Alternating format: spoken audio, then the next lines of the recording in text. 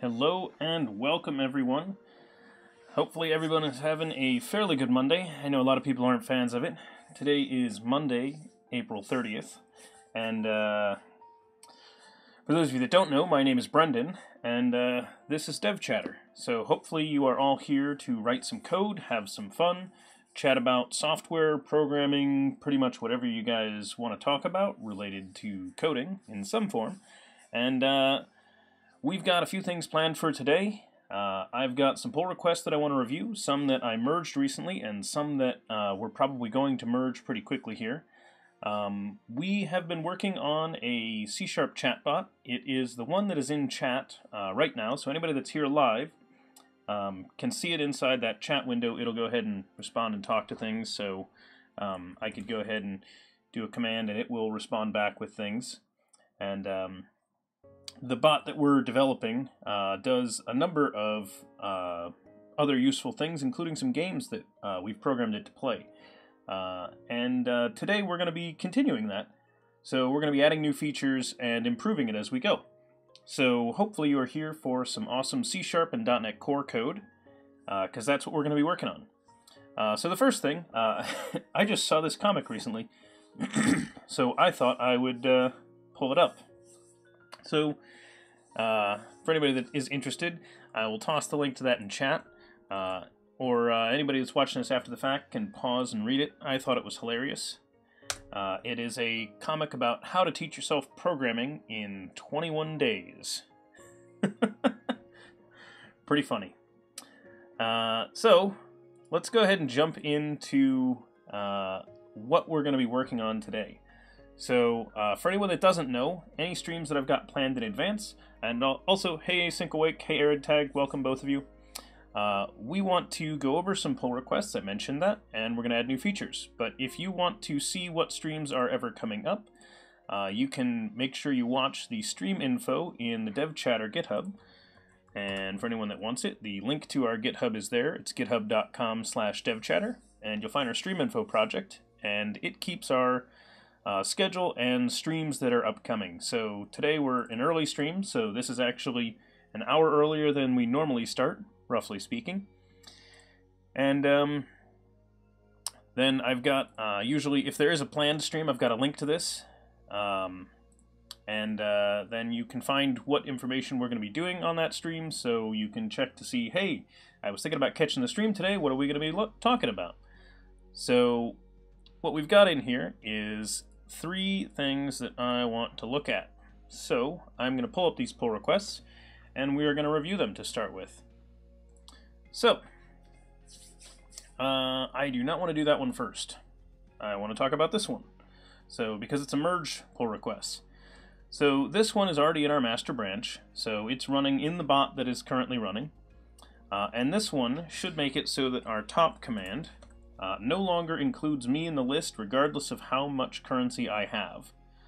So the idea here is that um, we have a command that lists the top users in chat based on how much currency they've obtained through playing games and uh, participating in the channel. Uh, so it would then list those users. Well, the problem is the streamer is always in here, so the streamer often has a lot of currency and would always be at the top. And that's not very fun, because uh, the users want to be able to get to the top of the list, and the streamer would pretty much always dominate it. So we have it now excluding the streamer from that list. So this was a pretty small change, so hence why I merged it early. All it did was uh, it checked the list of users, and we did a where the role equals the streamer role. So uh, excludes nicely. And obviously, if we want to make a change to this later, we could decide that uh, you know we don't include some other user in some other way, and it should work just fine. So doesn't impede us from making future changes. So this got merged in, and we've seen that. Uh, the next one that got merged in recently is adding a table for the hangman words. So this is an interesting one. So we have a hangman game in our in our bot that we can play, and uh, you'll see that I just typed in a command over there to start up a hangman game. And I can actually type in the name full if I want also. So I can say hangman E and you know, you'll see that Async Awake is now participating as well in the Hangman game. Um, and so we can uh, go ahead and uh, put this in here and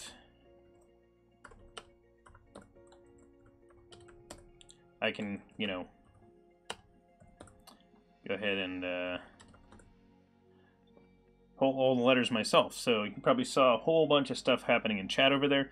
And that's our Hangman game. That's basically how it plays. Uh, anybody in chat can start up, uh, can, can participate in the game um, as long as someone else, as long as someone gets it started. And uh, that's how our Hangman game works. The interesting thing is now these words are coming out of the database instead of just being hard-coded. So before we just had them like just shoved in there because we're like, yeah, we're to make this Hangman game, it'll be fun, yeah, we'll play it. Uh, but now we want to actually have it be database driven, so this uh, gets rid of our, um, where is it? Our word list provider, which is right here and was just a hard-coded list of words uh, inside of a class that someone nicely set up for us uh, and instead changes it to be uh, using a, uh, a data model object, a hangman word, that uh, has its associated. Hey, AOD Designs! Uh, welcome, uh, Angel of Death. I assume that's what AOD stands for there. Because um, what else could it stand for? And so that should make this work. So uh, the couple of things that are important that needed to get changed and did are this. Um, we now have a migration added for hangman words. So there's a hangman words migration that does an up and a down. Uh, and it adds a new hangman table that has a single uh, relevant column word, and it does get a GUID, and, and we do this just because all of our tables in here have a primary key with a GUID uh, that we're able to use. Uh, did it not actually? Oh, man. Oh. Uh, we're gonna need to look into that. Why didn't uh, Why didn't you get tokens? Yeah, AOD design should have gotten tokens. Huh.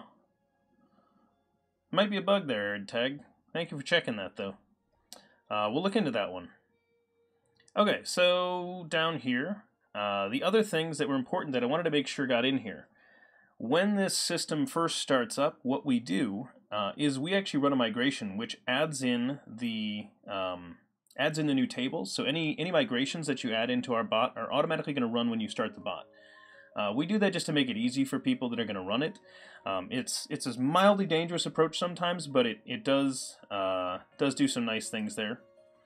Um, next thing, uh, what this does is it's checking to make sure that the um, there are words in the database. So if there are no words in the Hangman database, it will go ahead and add them.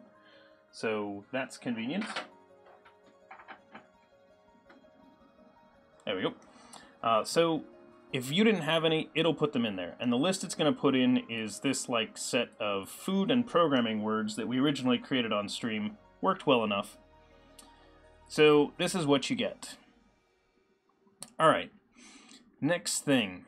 Um, uh, it added to, so we needed to get the hangman words added as a DB set on our data context, which it is and that is what allows our repository now to access it.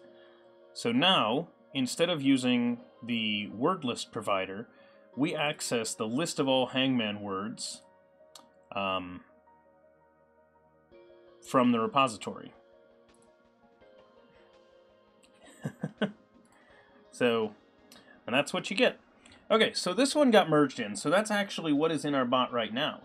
So the cool thing that we want to add related to this is now that it's data driven, we can add a command to be able to add additional words to the Hangman game. So um, not only that, is I could actually add words to the game that you guys don't know exist because it's in my local database and not committed into the repository. So that's one of the advantages we get there. And uh, welcome, uh, AOD Design, if I didn't say it already. Good to have you here. Hopefully you enjoy the stream. So, uh, if we were to take a look at that code, you'll see that it should be in here, uh, which actually, in order to show it to you, I'm going to hop over here into Data and Model, and you will see Hangman word right here. So this is the code we were just looking at. and it is running in our current bot. Okay, so that is that pull request. It also got merged in already. And then the next one that I wanted to talk about is the possible solution to number 33. Now, number 33 here is wanting to have a user cooldown on our commands. So essentially making it so that the same user can't run the same command over and over and over again. Um, and so, if we take a look at the changes in here, uh, this takes an interesting approach, and I do like it. So, um, I'm glad Arid Tag's here while we're reviewing this one. So, uh, essentially what changed, if we look at this, is um, inside of the uh, base command is where the significant change happened. So in the, uh, oh, it's not per user. Uh, I thought it was per user. Oh, no, no, no, it's by command. Right, it's by command. So single command. Yeah, sorry. I said the wrong thing. I misspoke. Sorry, Tag. Yeah, yeah, yeah, yeah. Exactly. Yep, yep, yep. It's by command, not by user. Sorry. I, I, yep, that was me. Uh, okay, so here's what we do. Um, so essentially, Arid Tag put the cooldown logic inside of the base command, which works pretty well uh, for handling this. And essentially then change the way all the other commands work by having them override an, uh, I believe it's probably an abstract, uh, handle command method. And it should be down here, yes, a protected abstract handle command. So essentially, all of the implementations of a base command no longer use um, the process method, uh, which was the standard one uh, that an ibot command had. Uh, but what's interesting is that they still have that method because their base class does it. And that's actually what's going to handle the cooldown step. So an alternate way to do this, uh, which I'm good with what we've got here, and I am going to merge this one in, but I do want to discuss this for future reference for people, is that a way to handle this without making this, the, the distinction, and we might move to that at some point, is to do what's called the decorator pattern. And the decorator pattern is basically you have um, essentially nested objects, and like one of them is sort of wrapped around and, and we call it decorating the inner object. And the way that that works is that um, each one is basically calling through to the one below it. So the outside code doesn't really care what it is it's calling, and essentially then what we would end up with is like a cooldown enabled one. Now I would need to think about exactly how we wanted to build that, um, but what that would let us do is essentially wrap a cooldown layer around a command. Uh, and, and the advantage there is that we could then use the same piece uh, for a base command uh, that we do for a simple command, for example, because I believe the simple command, yes. So down here, you'll notice the simple command had to do the same basic logical structure, and that's because uh, we're not using a decorator pattern. So um, I will be discussing that because one of the other things that I want to put in now, so I'm going to start using the decorator pattern in a couple of places, and I think we're going to do that today. And um, the couple of places I want to use it are in a repository, because I want to add a caching layer of some kind, um, even if it's just a simple one for now. And the reason I want to do that is that we're now pulling the word list out of the database. And it seems silly to call to the database every time to get that word list when we're, you know, not changing the word list very frequently. So we can keep that in cache in memory and essentially then just um, invalidate the cache whenever we add a new word. So that's the way that uh, I'm going to set that up. Um, but what I want to make it happen is I don't want anything in the application to have any idea of whether or not we're using caching. So if for some reason there's something ever goes wrong with the caching and I need to turn it off uh, and investigate or I want to change how it works, I won't have to change anything in my code. Now this still achieves, so this achieves that same result, which is why this is a good design, and I actually really like it. So um, it was very good. So let's go ahead and uh, pull this one into our bot. So we're not going to do the merge initially. What I'm going to do is I'm going to come over here into GitHub Desktop, uh, which is the GUI application we use. And I use a GUI on stream because it's more visual and you guys can see it a little bit better if we use this over a command line, although I will revert to the command line a lot uh, because that's where I'm usually working. So, uh, what I want to do is I want to hop over to the pull requests. So you'll notice I can just grab pull requests and I can pull in that version. And so it'll switch me onto that branch, connect everything up for me. It's actually really nice. So now, if I go over here, we are running on, we now have that version. Now it hasn't restarted the bot or anything, so the bot's still running the other one, but uh, we should now have this code. So if I do, I'm going to start off by pulling out one of the commands. So we'll take a look, for example, at the coins command, which is implementing base command and is overriding handle command. So it should be working as we expect. Uh, ooh, Yuri Said, I'm going to guess. Uh, welcome, thanks for following, and uh, if I messed up your name, let me know, and I will try to do better next time. Um, oh, always difficult, but uh, I will I will do what I can. I also have a complicated name that I go by. I usually go by the name Brendonius on the internet, so I totally understand when uh, when someone messes up a name. No one can get mine right. For well, some people get it right the first time. Actually, that's funny. AOD Designs, who's in here, uh, she got it right the first time. Actually, she was one of the one of the only ones that that you know just blurted it out, and I was like, "Wow, she got it! That was impressive." Probably why I remember that she got it. So here's what we're to do. I want to stop the bot. We're to go ahead and get it started again. Uh, but this time we're to be running the code that AridTag sent us. It was AridTag, right? I did this one. AridTag, you're the one that did this, right? Yes, AridTag did this one. Crash. Uh, why did it crash? Alright, I'm guessing it's the 500 error from... So there's an undocumented Twitch API that sometimes throws a 500 error, and one of these days I'm going to wrap that in a try-catch block so we stop throwing this exception. Uh, or someone else can toss a try-catch block around that as a pull request and send it to me and I'll use it. Yep, that's all it was. Okay. So, uh, first things first, I am going to try a couple of commands. So these are simple commands, so I'm going to try the pet command. And then I'm immediately going to try the pet command again. So there does not seem to be a cooldown on that. That or I override it. Actually, Arid Tag, you try it. You don't override these. I'm a mod. I override these. Try doing the pet command a few times.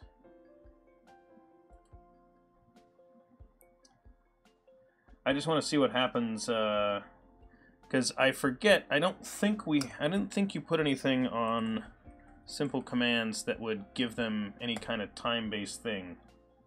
Yeah, okay.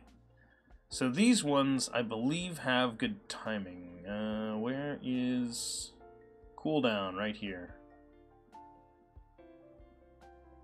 Cooldown, time span zero. Okay, so there's no cooldown on simple commands, so that works nicely. So that's what we're expecting. And then if we try a non-simple command, like say the coins command, so let's try the coins command. Uh, people want to hit the coins command a little bit. Let's go ahead and see what that one does.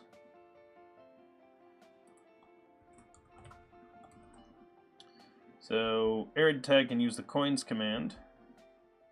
And and for anybody that's wondering why Arid Tag is typing ASD between those, um, Twitch doesn't like it if you send the same message multiple times in a row. And so that's why Arid Tag is sending in a, a, different thing before typing the same command again, because Twitch would otherwise yell at him. Okay, so that seems to run without error, but it is not blocking it.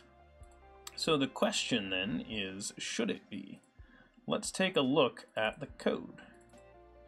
So we're going to hop into the base command. Arid tag is neither it's alright. Didn't get to my mute button in time to block the sneeze. Sorry about that, everyone. Okay, so checking the user can bypass uh, cooldown. There's nothing. Oh, is our cooldown set? Time span zero on these.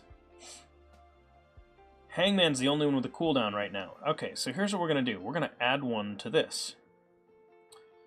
Uh, base command, what is this? Cooldown, time span, protected. Okay, so we can set the cooldown inside of our constructor, is the way that it works. So cooldown equals Uh, time span uh, from seconds. Uh, let's say that you can only call the coins command every 10 seconds. Okay. That'll limit the cooldown. That'll limit that one just a little bit, just so it doesn't get spammed. Actually, I might shorten it even. Uh, I might make it even shorter.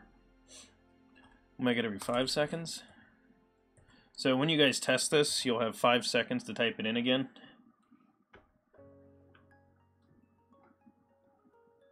Oh, very nice. You connected to you connected to the multiple channels. That's that's pretty fun. We've been thinking about doing that one. Um. Alright, so arid tag ran the coins command. And the coins command. And boom. So arid tag called the coins command and didn't get it and should have got okay, and you got your PM.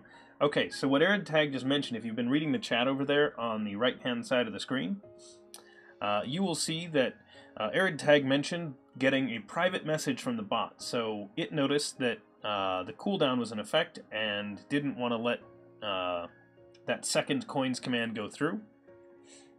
So that stepped in and did that. Okay, so that lets us uh, set for each one of these commands how long we actually want the cooldown to be. Uh, we're probably going to want that eventually to be data driven, but at least gives us some control now, which is great. Uh, so, that seems to be working. And there was nothing crazy when we were looking around at this code. All of it seemed to be like the kind of thing that we wanted to have in here. And if we expand this out, we'll see this code a little bit better. You'll see that it does like a check to see uh, whether or not you can bypass the command. The other thing it adds, it adds a concept of a game. So it wants to see if a game is running. And so it disables the cooldown for a game when it's running. Is basically what it does. So that makes it so that if we're in the middle of a game, you're not getting caught with a cooldown caused by the general command uh, step. So, like the Hangman game, for example, uh, what did you set the Hangman game uh, cooldown to in here? Time span, minutes 15. So you limit it to Hangman game can only be played once every 15 minutes. Uh, I'm actually going to tweak that to 10 minutes because 15 minutes seems long. Uh, so what we're going to do is we are going to jump into the Hangman game, go to the Hangman command, and we're going to change that to 10 minutes. So you can play Hangman once every 10 minutes. Hey, Pritchett Bots! Thank you for the subscription, much appreciated! Woo! And if anybody didn't notice, that is Steve Ballmer and Bill Gates dancing in that little animation we got there. So, quite fun. Thank you, thank you. Welcome. Uh, Arid Tag, you have to take your card for service. Hopefully you don't run into any issues with this while you're gone. And hope we don't miss the rest of the stream. Yeah, I hope you don't miss the stream. I'm actually not going to be running that late. That's why we started early. Um, so, uh, good luck with your car. Hopefully that goes well. I actually have to take mine in at some point soon also. And, uh, welcome back, Crimson Green, and have a good lurk, Arid Tag. Uh, uh, I don't even know how this works, but it looks like it will help you making good Pritchett bots. That is correct. Um, so it also does a couple of other things. So subscribing to the channel gets you access to our DevCha Hype emote. So you can get a little T-Rex that's holding his little, he's got his little grabbers because he's got short arms and he can hold up his hype sign. So we love that little guy. Uh, so yes, no, no, no, pet. Pet's the command, Crimson. Uh, can I alias that? Add pet rar. No. Because it's not a real command. We can't alias our fake commands. So, uh, I was hoping. Yeah, so everybody can, can have the bot throw up the hype you know, emote, but uh, if you want to actually use it yourself, you got to be a subscriber. So, Yeah, bummer. Okay, anyway, so let's go ahead and make this work. Uh, Oh, and also, for anybody else that's in here, uh, we do actually have a number of people that chat regularly in our Discord. So all the people that are contributing uh, and are sending in pull requests and things like that uh, often chat in our uh, in our Discord. So it's pretty common. Uh, yeah, sorry, uh, Nightbot doesn't like you posting links in here, um, which of course is you know because that's what a moderator bot does. Um, uh, in case you wanted to see the new uh, GUI stuff you made, uh, I will take a look at it sometime. Um, that that link will be in chat, so I'll be able to see it later. Okay, uh, so that added the game, and we have game, and we have game command, and so that is how those works. And uh, that will let you know whether or not the game is running. So the associated game for the game command is how that works. All right, let's go ahead and merge this in. We're going to bring this in, and that will be good. Uh, I think I already approved it, didn't I? Yep, I did. All right, let's do this. Leroy Jenkins. Boom. It's in. All right, let's go back here to the master branch. Wow. Yeah. Thanks, thing. Git shell. So I'm going to pop up the git shell here. And the reason I'm going to do that is I am going to uh, hop over into our folder. And we are going to git stash. And then we're going to check out master, git pull. And then we're going to git stash pop. And one of the things I like about being on the command line is I can type in commands faster than Git can do stuff. So, so it's already got the next operation queued up before uh, before it goes. All right, Janisku, welcome, and uh, everybody everybody else. If I if I didn't if I didn't welcome you, I apologize for not explicitly welcoming everyone that's here. But welcome. I hope you are all having a good Monday. I know it's not everybody's favorite day, but uh, we're gonna go ahead and try to have fun by writing some code anyway. Uh, so, what I wanted to do was make a quick change here, so I am going to ah, get back out, dash B, um, uh, change, cooldown. So we are going to go ahead and get that going, and then I am going to hop over here, and since we're inside of a branch, I am going to say uh, make hangman cooldown shorter. Uh, I don't like committing anything directly to the master branch, so I am going to send this up as a pull request. And once we've got that up there, I'm going to go ahead and say new pull request and change cooldown. Create the pull request. That's a great name. Make Hangman cooldown shorter. And then that will be in there. Uh, May Day is tomorrow. Yes, it is. That will be May 1st tomorrow. Uh, and that is very fun. Uh, and by fun, I mean it's not exactly fun, but, you know, holidays holidays are often fun regardless of what the holiday is actually about.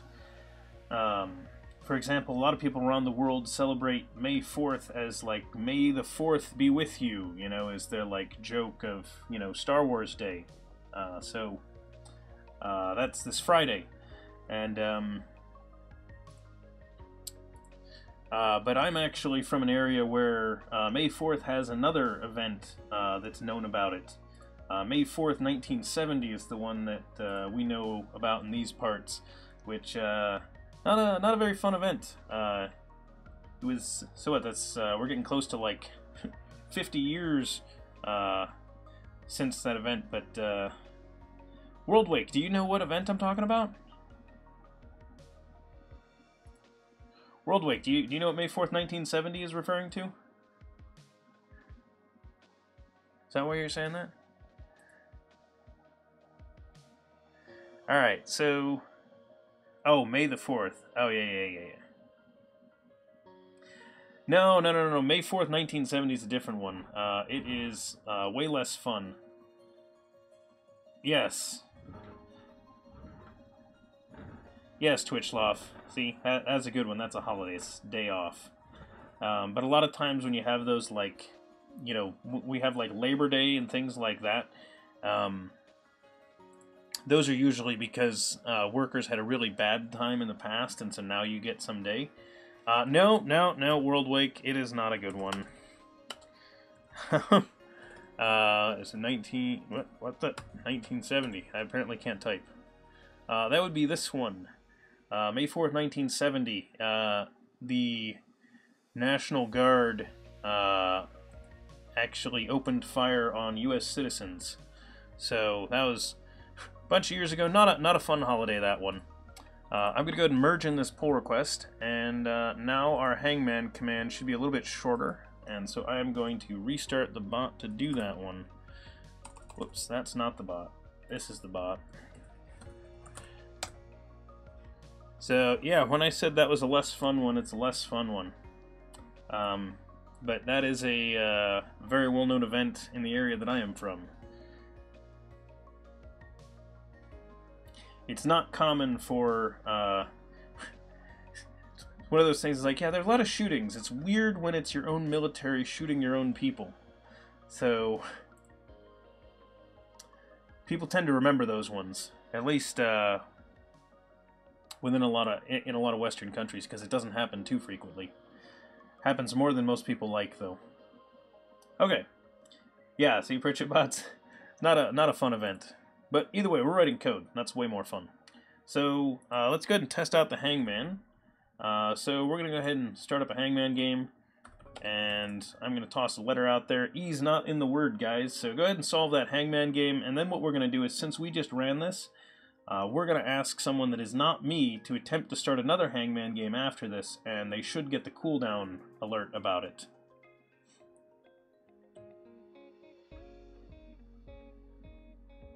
So, there you go. Alright, so hopefully you guys do well on that. Let's go ahead and jump into our uh, changes we're going to do to these commands. So, uh, I talked about wanting to uh, add in the decorator pattern on a repository. Now, we actually used to have this in the previous version. Um, so, what I am going to do is this.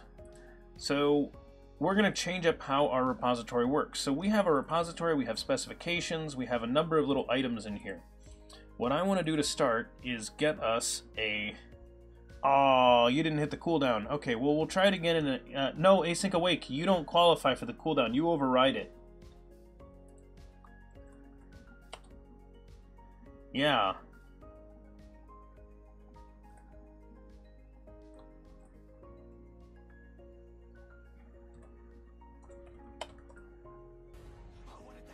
And, uh... Welcome, uh... I'll say Sharon. Uh... Sharon Gam DNT, welcome. Welcome to DevChatter, and and see, I love how Janisku is doing the same thing I did, putting in the letters in an order once we once we have the word there. Okay, um, so what I want to do is this. So we have our iRepository. Now what we don't have is a cached repository yet. So um, I want to add that in. So I think that it makes sense to me that caching might be under data so data caching inside of our core project. That seems relatively logical to me. I might look for it here.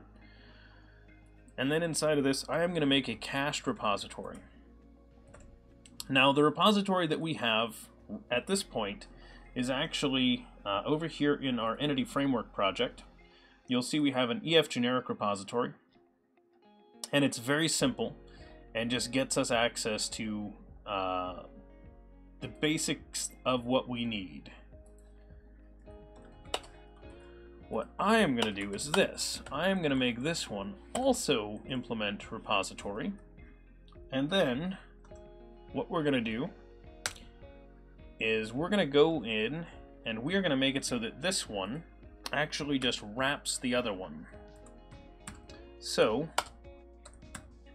we're going to make a constructor for it and we're going to have this one take in an iRepository, repository, and the repository that it's going to use is going to get stored. So we're going to say private iRepository, and we're going to call this one, I'm going to call it internal, uh, underscore internal repository. Uh, what? Internal repo. We're gonna go with internal repo. And the reason I want to do that, I give it that specific name, is because I want to make sure that it's really clear that this is the internal one, not the repository itself. So the reason, so this gets us a little bit of nesting here. And now, this is implemented using the decorator pattern, and I will show you what we're going to do here. So these all throw not implemented exceptions, but the first thing I can do with each and every one of these is I can just say return this dot create t and I can pass in my data item and I can essentially make each one of these just be a pass-through to the internal. And what that means is that I can get away with not actually implementing everything right off the bat. So that saves me a lot of work. I don't actually have to do each one of these. Uh, we're going to pass in the data item list. And we can decide which ones get cached. So that lets me out the gate save myself a lot of work and our code still runs as we would expect it to. So I am going to go ahead and call list of t and pass in my spec. Uh, uh, just it's almost as if you uh, kind of yes, yes, yes.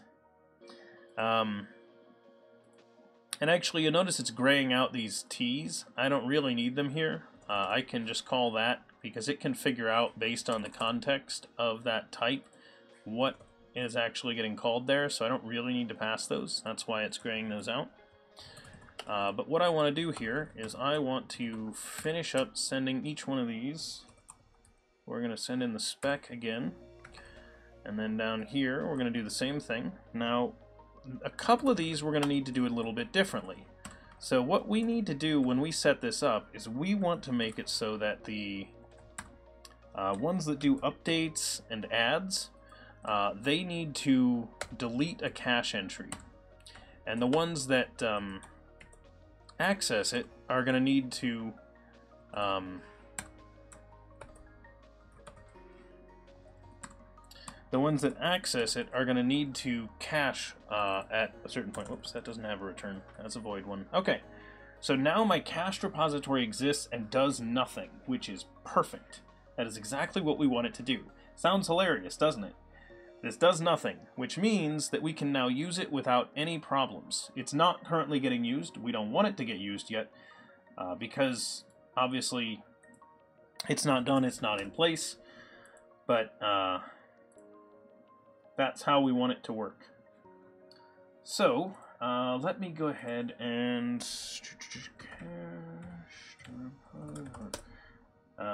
Um, we, we used to have this in here somewhere.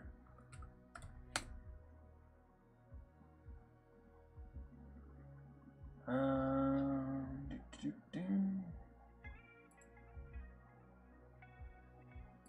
there we go. Okay, uh, so we have our internal repo, and then we need to add a cache layer. So inside of caching, I am going to add a new item, and that is going to be an interface, and I'm going to call it an iCache layer. And what I am going to do, you guys are going to laugh about this, is I am going to pull this up. And uh, let's see, who is running on Linux? Uh, so, uh, so we are, um, you're in a container right now, and you tried .NET Run inside the unit test project, didn't die, but nothing happens either. Uh, inside the test project, uh, Pritchett bots do a .NET test instead of a .NET Run. Uh, there's actually no reason this project shouldn't run in Linux, so you should be able to run this in a Docker container because we're all command line. We didn't do anything weird. Uh, so everything .NET Core should be able to run there. So yeah, if you want to give it a try, go for it. Um, I might recommend keeping it separate for now just because I'm not running Docker on this computer right now. Um, I've actually got it installed but disabled um, because uh, some of the uh, virtualization that Docker likes to use interferes with some of my other virtualization that I use, so I actually have it turned off right now, so I'm probably not going to add it to this project at the moment, but it is there. Uh, anyway, so what I was going to show you guys is uh, I wanted to pull this up because we already wrote some of this code. Uh, we actually used to have a caching layer in this project, and I removed it temporarily, and it is time to bring it back. So, uh, what? It, oh, those used to. Uh, whoops. Data entity. Uh, we're going to add a reference to that. So there we go. Um, yeah, uh, actually, um, Docker runs pretty well on Windows. Uh, there are a number of developers that, that do run it in here, and um, it it runs fine. So Okay, so here's what I put in my caching layer. So I just pasted this in from our old code that used to be in this project. And essentially the idea is uh, we have a try get, which says go ahead and try to get this item. If you get it, awesome, you know, and use this cache key to get it. We then have an insert that will uh, insert the data into the cache. Uh, and that's very simple caching layer. We could make a more complicated one, but there's not really much need right now. So we're going to add that. So that means that we now need to put this on our cached repository. So what's cool about this is our cached repository, you'll notice it's just a pass-through. This adds a layer, it knows nothing about the data access, and it also is not really going to know anything about our caching, which is very cool when you think about that. So, I'm going to come in here. We're going to say cache layer. And then we can say underscore cache layer equals cache layer. And essentially now we've wired up um, a caching project that doesn't really do much, and that's fine. Uh, we are working on a C-sharp chatbot uh, that runs in Twitch, so it is actually this chatbot. Uh, so it's that guy right there that's talking to you in chat. And uh, it's all written in C Sharp using .NET Core. Uh, but right now what we're working on is we are implementing the decorator pattern to give us a caching layer for our data access. So we're going to add a cached repository that wraps around our Entity Framework uh, SQL access. And if anybody has any questions, if I'm doing anything weird with this, shout it out because this is uh, I, I don't want to say it's complicated because it's not complicated. This is actually a simple approach, and that's why we like it, because everything about it is easy to look at. So you can look at any one of these and be like, oh yes, I get how that works. Um, uh, data item helps if you get all those wired up, Brendan. Okay, so we need a cache layer. So, uh, I could just make my simple in-memory cache that I had before, uh, but I don't think I want to do that one. Either way, here's what we're going to add. We're going to take the simple approach at first. We're going to make this uh, more advanced later, but we're going to start with the simple approach. So I am going to gank this and toss this over on our cache repository. So we're going to put this in place of our create. I think that, uh, is that the one I pulled? Wait, which one did I pull? Single. I did single. So we're going to come down here to single. Now I'm going to do something a little bit magical, everybody. Uh, oh, I'm not, I don't get to, I don't get to. Alright, here's what we're going to do. I'm going to pull this all to the left. And then I want to get rid of those. So we're going to go ahead and multi-line select and delete all those. And then I'm going to hit a keyboard shortcut to make that actually work. So I am going to call internal repo single and we're going to return items. So what we're going to do for our start is we're going to say grab the item out of the cache. If we don't find it, we're going to pull it from our internal repository and then insert that into our cache using the cache key that we got from our spec. So luckily our spec already has a cache key on it. We just need to define how those work.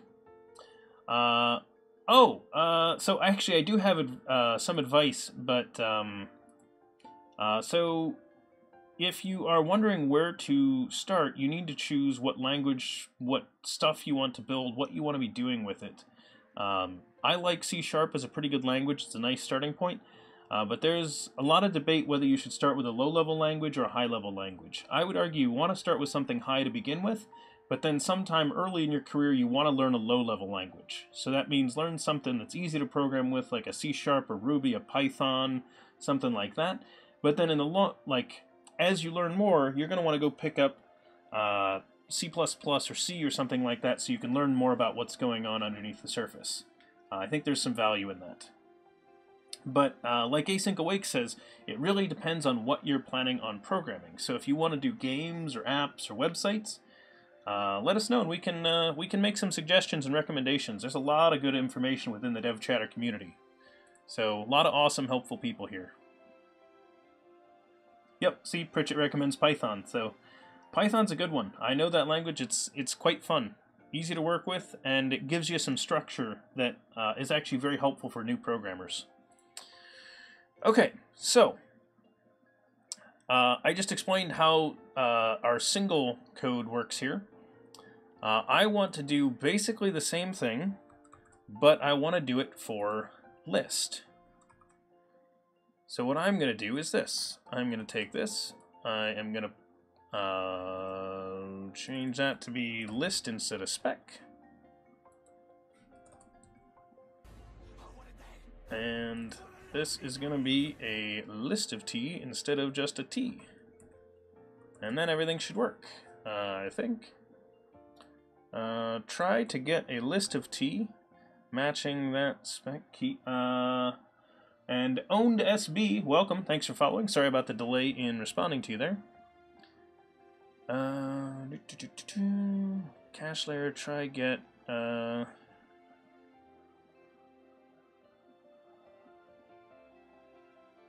Oh, because we said it has to be...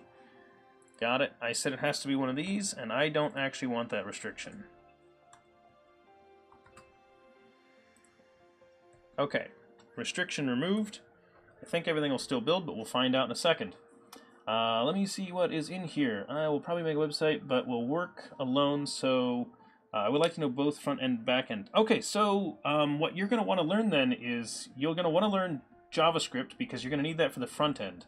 And uh, as OX539 mentioned, um,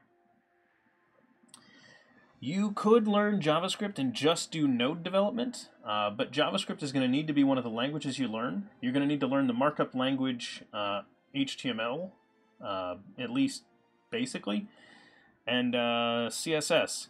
Uh, for backend, I like C Sharp, but a number of people like other ones, and there are no wrong answers there. So, oh, uh, WorldWake. Um, if you change the connection string, uh, so uh, if you are trying to run this and you can't do local DB, I believe you just need to change the connection string. So uh, change this to point to a different type of database that you'll need to set up, and then you'll be able to do it. So uh, if you if you can't support local DB, that's that's what you're going to need to do is just get a new connection string uh, WorldWake. And uh, you can look online, and if you can't find one, ask us, and one of us can help you get a connection string that'll work, and then you'll be able to get that in there. Um, and uh, there are a lot of courses uh, for intro development stuff too, if you want to hop into that. Okay, so.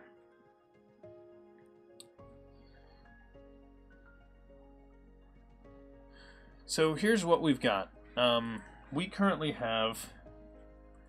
Uh, we can pull a list. Uh, we can get a list with single.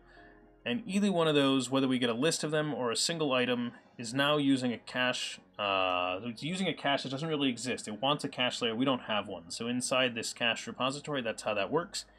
Um, we want create to be able to nuke items. And we want uh, data item list to be able to um, fix things as well. So um, we're going to need to uh, check stuff. So here's what we're going to do. Uh, let's see, I clicked build and then run into page. Also show for the right IDE or editor. Uh, so a lot for a lot of that, it's going to depend on what you want. Um, um, so here, uh, stack Overflow. Oh, hey, Stack Overflow survey. Yes, exactly. That's what we wanted. So the 2018 Stack Overflow survey. Uh, if we take a look at development environments and tools, these are the currently used most popular development environments. So if you're looking for one, uh, Visual Studio Code is a nice one. It's a free one from Microsoft. It's surprisingly used by a lot of people that do JavaScript development, which is not Microsoft specific tech. Um, but it also lets you do the Microsoft stack. So this IDE will actually let you do everything we do here on DevChatter. Um, the one that you see in the background that I'm running is Visual Studio. That's this one. Um, I think this is popular just because people hack on it. I wouldn't recommend Notepad++ as your actual IDE. Um, a lot of people run Sublime Text. Root Guy apparently loves Emacs. Of course he does, uh, being Root Guy. I also would have accepted Vim from Root Guy, either one. Uh, and then a lot of people like the IntelliJ stuff. So if you wanted to run Java, uh, IntelliJ is great. Um, Android Studio is very similar to that. I believe they're based on each other. And uh, yeah, so um, my recommendation would be if you want to get started with things, I would check out VS Code. It's pretty nice. Um, it's free. Uh, unless you're really averse to Microsoft, at which point then I would recommend uh, probably running Sublime Text. It's another one that's pretty easy. So, uh, Dano Soto, uh, welcome. Thanks for following. Hopefully you enjoy DevChatter. And, uh, yes, uh, e Emacs, Vim, all the IDs are awesome. Uh, don't let anybody tell you which ones. Uh, Barletta, VS Code is a lighter weight one, and Visual Studio is generally just used for full Microsoft like tech development, so that's why I'm running it here, because we are doing C Sharp, so it works very well for this, has a lot of extra stuff. Uh, but if you're not planning on going the C Sharp route, uh, then I would recommend VS Code instead. Uh, it's the lighter weight one. Uh, both of them have free editions, uh, but uh, VS Code is completely free, whereas Visual Studio has like more expensive, you know, you can pay for ones that you probably won't pay for if you're just learning C Sharp. So, yep, that is what you got there. But VS Code is a very popular one. Uh, the Node devs, uh, some Node.js developers, so like the hardcore JavaScript developers that use it for their front end and back end of their websites, uh, the ones I know mostly have switched to VS Code. A lot of people have.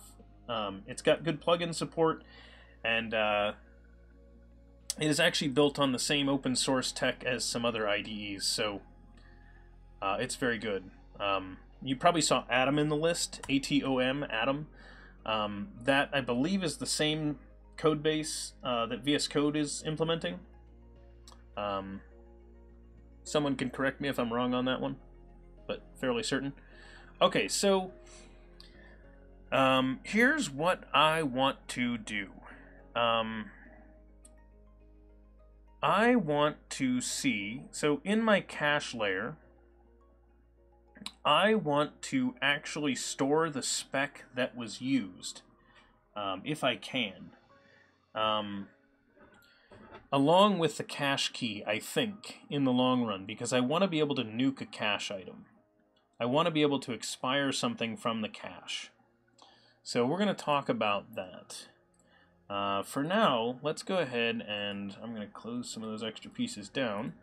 I am going to just grab my memory cache layer that we had before. We're going to actually, so once we add our website, we're going to switch this caching layer for the ASP.NET caching layer that's built in. It'll be nice. Um, yeah, Pritchard Buzz. Yeah, yeah, yeah, yeah, yeah. Vim, is not the one you want to recommend for someone that's just learning programming. Uh, I wouldn't recommend Emacs to that person either. Although if you've been programming for a long time, Vim and Emacs can be very good. They're both very powerful and quite nice. Uh, so, here is what I am going to do. I am going to go ahead and view this because I'm going to steal this whole file. uh, we're going to view the raw file, and I am going to just take this, and I am going to pull the to-do also, because to-do create a better cache layer implementation. It's really true. We should. Oh, man. Alright, so I'm going to take this, I am going to toss this into its own file. And now it needs references to generic collection. And um, we no longer need these type constraints on here because I didn't have them in my cache layer.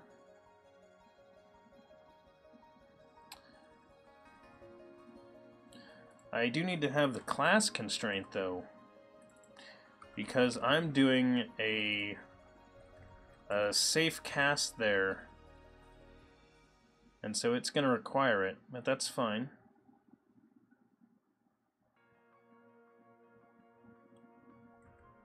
So now I want to go to this, and I need to put the same wear restriction on this one. So we want to just say where it's a class because of the cast that I put in there, so it's requiring it. Uh, Nano, yeah, yeah, yeah, Nano's great. Um, yes. Uh, we don't want to do any of these things. Don't don't listen to these people. They're they're giving you horrible suggestions, Barletcha. Um, Microsoft Paint, the ultimate IDE. Uh, I use tabs for the first spaces. Thanks, Root Guy. That's great. You are very, very evil. Uh, oh man, Saduki. We're not using typewriters here. We don't. We don't need that crap. Don't give me that. Okay, uh, can I implicitly convert that to that? What? Oh, I made it a data entity, that's why. So we're going to make these objects, because I don't actually care what that type is in there. I just want to make it an object. Okay. Uh,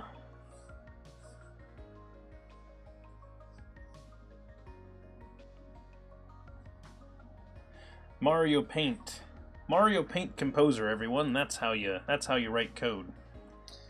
Alright, so now we have... This is like the simplest form of a cache. So if anybody's ever used caching, we're going to replace this with like a real ASP.NET built-in caching layer once we switch to ASP.NET. But the nice thing about this is that because we're using this caching layer inside of an interface, we don't actually need to worry about this.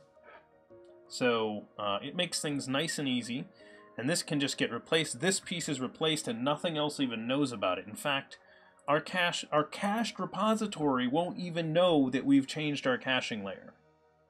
So it lets us get away with a couple of things that we want to be able to do. So, uh, first I'm going to do this. So we're going to say caching. That's our caching branch that we're creating there. And actually I'm going to click the publish button so it is out on the server as well.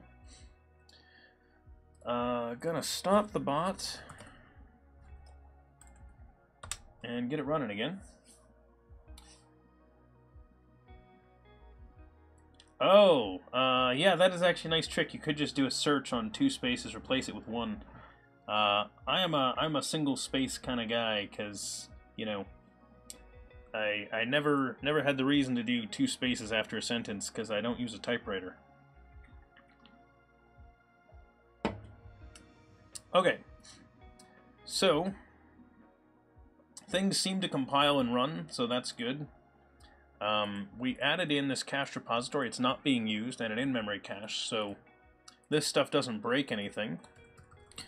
Uh, adding basic caching files. I'm going to do a commit for this, and we're going to continue on.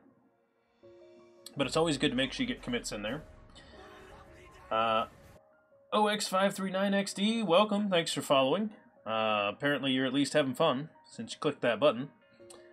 Uh, okay, so, oh yes, I feel your pain, Saduki. I never used a typewriter. I have always been a computer kid.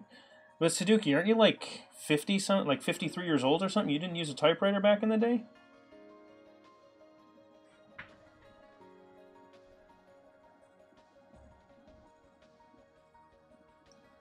Yeah, that was that was me hiding from Saduki there. She was gonna kill me. Uh, okay, so uh, which Git GUI was that? Oh, um, Meister. Uh, this is so uh, for the stream. I use uh, GitHub Desktop because uh, I wanted to have a visual one. Uh, so this one is GitHub Desktop, and I like it because uh, it gets me quick access to all of the uh, repositories that we use on stream, and it's fairly simple, so not a lot of complicated stuff, and it's nice and easy to show people. Also does some nice things like let me not have to um, type a bunch of git commands that I'm going to mess up while I'm on stream, uh, even though I'm normally always in the command line. Uh, lets me do things like set my upstream and stuff like that. Uh, but then it has one added thing that I'm really big fan of. It has this little tab here for pull requests. So if there's an outstanding pull request, I can click on this and it will actually pull the pull request in as a local branch for me. So connecting to that other, uh, connecting out off of the normal uh, set of branches. So it's very nice for that. So I actually like this a lot, specifically for this project. So it's, it's treated me well. Uh, and uh, if you are looking for it, I believe it's at like desktop.github.com. Yep, it's right here. So GitHub Desktop. So if anyone is interested in uh, getting that, uh, that's where it is. And um, all of our stuff is also out on GitHub. If anyone does want to check it out, it's at github.com slash devchatter. So all the code that we do on stream is out there. Uh, so you can go check out any of it at any time. Okay, so uh, back to this. We have our cached repository set up. It's pretty simple, um, and there's not much in this right now. Uh, what we want to do is we want to actually make our cache keys work. So here's what we're going to do. Um, we're going to write some unit tests around our cache keys because these things are going to get weird. Um, there's something I want to do with our cache keys that is going to be pretty amazing, and I will show you that in a little bit. So, uh, where to start? So our I specification, you'll notice that it has a getter for a cache key. So these could be set up in a lot of ways. Um, but the simple one is like this. We have an all, right? So um, I'm going to take a second and I'm going to explain how our uh, our specifications work because it's a little, uh, it's very, very, very powerful. These specifications let us do some really awesome stuff, but they're a little complicated. So I want to talk to you about them. Um, it's not super complex. Once you understand it, it's actually pretty simple. But there is there's a there's a, a piece that has to click first uh, before it makes sense. So I will talk about this for one second, and then we're going to take a look at how it actually works. So our I specification is basically how we get our filter criteria to our repository. So it is an expression of function of t of bool. Now that sounds really complicated, it's not. Essentially all this means is I want to take in a function that when given an object will return back a true or false state. So that basically says um, it's my way of deciding should I include this object in the collection or not. So for example, if I want to pass in a specification to get a certain user, I might want to check their username. And so I want to find a user by username, so I'm going to use a chat user policy, which is our one of our specifications, and you'll see we have it by display name. So essentially the function that I pass in is this. I say where the display name equals display name. And so that lets me have a short little static method by display name on my chat user policy. So if I look at where this is used, you'll see that um, the coins command, for example, looks, does, you know, it does a repository single and says chat user policy by display name user to check.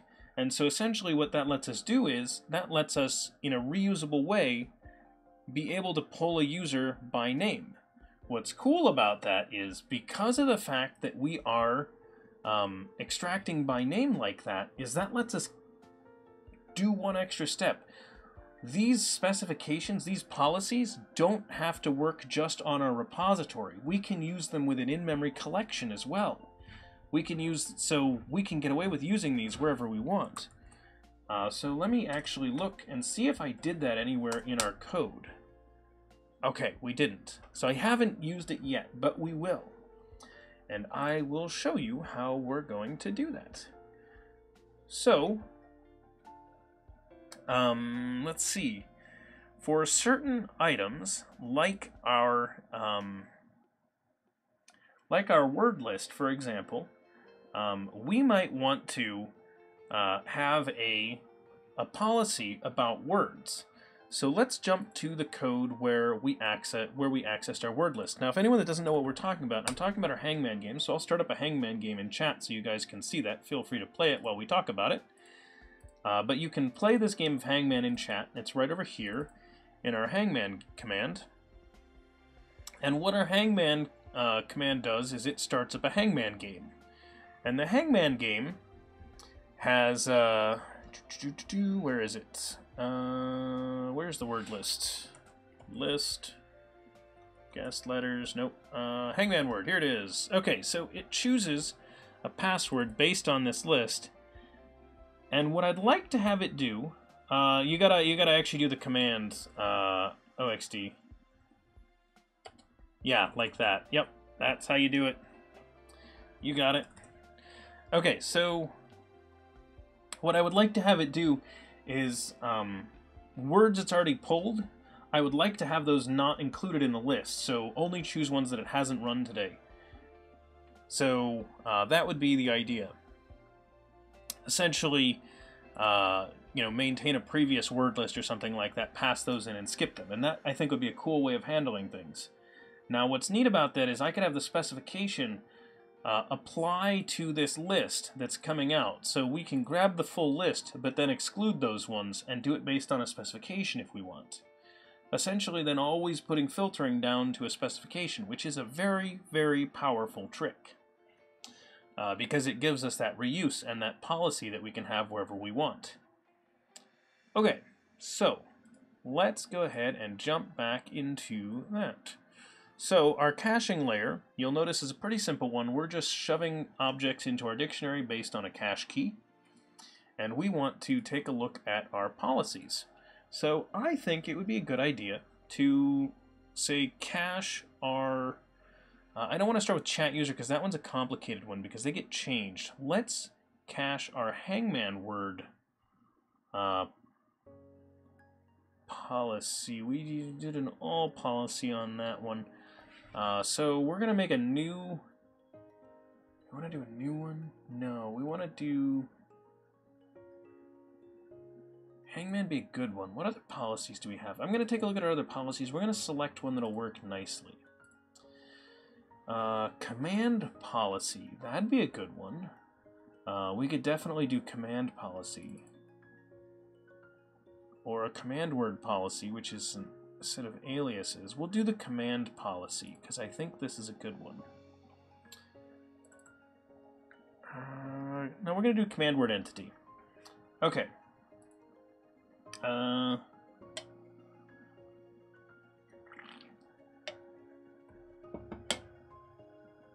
uh, oh, yes, Janiscu. Yeah, the idea is going to be we're going to make it so we're going to avoid a word that's already been guessed today. So we're going to exclude that. So here's what we're going to do. We're going to hop over into our unit test project. We're going to open up core. We're going to open up... Uh, interestingly, we don't have the data folder yet, which makes sense because uh, everything else in there up until now was just a model object, and there's no... Right now, our model objects are basically just um, a model of what's going into the database, and so there's not really anything to test there. It's just properties. Uh, but what I want to check now is specifications. And then inside of specifications, I am going to make a folder that I am going to call command word, whoops, command word policy tests. And then I am going to make a new class in here. We're to call this, um, Uh, something should. I don't know its name yet, so that's why I'm just calling it something should, is because I don't have a name yet. Once I have a name, then we'll be good. Um, so we're gonna say uh, we're gonna say fact public void. Whoops. Let's get that reference. Public void test one. No, these are not the permanent names of everything. I just don't know what I'm testing yet. I like to write the code, and then that lets sort of jogs my brain for what I'm going to build.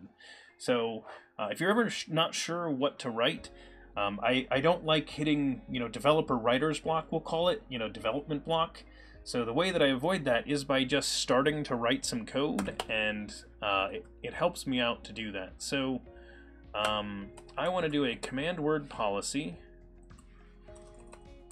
and then once I've got the command word policy, I want to say uh, by word. And then the word we're going to pass in is um, foo. And then we want to var policy equals this. So we're going to store the policy policy dot cache key should what should? I'm pretty sure I have this library. Yes I do. I included it. So should be uh, and now I don't know what that cache key should be yet. We're gonna figure that out but I think that's the way we're gonna do it. Uh, let's see. What do we got going on in chat uh, have any cool side projects doing a better stuff that you showcase or blogs? Uh, yes, if you do, Root Guy, that would be very awesome. Um, there is one Twitch Loft, and I can't remember what it is. Uh, if you remember, let me know. Um, no. Uh, T. It's T. That's what it is. Uh, thank you, Twitchloff. You you got me to check. So it's just T. okay. Um, WorldWake, uh, DevChatter, how does the authentication to your database work? I don't see any password username in the local database connection string. Uh, so WorldWake, um, it is actually because the local DB allows my local user account to make a connection to the SQL server. So that's actually the way uh, that this one works. Uh, so if you are running uh, a, a, full SQL server or some other database where you can make that full connection without um, essentially doing um, a trusted connection, you can do that. Uh, but you don't need to because you could put the authentication, uh, whatever it is, whether it's a username and password or whatever you need, inside this connection string. So I'm doing a trusted connection, and that's why I don't have to put a username and password in. But you can go grab a different type of connection string, and it should be able to work that way also. Uh, does that make sense, World WorldWake? Hopefully. Okay, so here's what I am thinking for this one. Uh, I'm thinking that a good cache key would be this. Um, I think it would be nice if our cache key did, if it were something like this for that one. I think that would be a good cache key reasonably. Like, not perfect, but I think this would get us far enough. Essentially, taking those parts and making that work. Uh, yeah, WorldWake, uh, you should just be able to use a standard connection string uh, for that. Anyone, you can just find one online for how to connect to whatever database you've got. Um, and then that should be able to work. Um, What uh, what kind of are you you're running Windows WorldWake? What what kind of system are you on? And and do you have a SQL server of some kind installed? Uh, I think it sounded like you were running in Rider. Um, okay, so in theory, that's what we want to have happen. I'm going to go ahead and run this test by clicking these buttons, and we're going to see what's going to happen.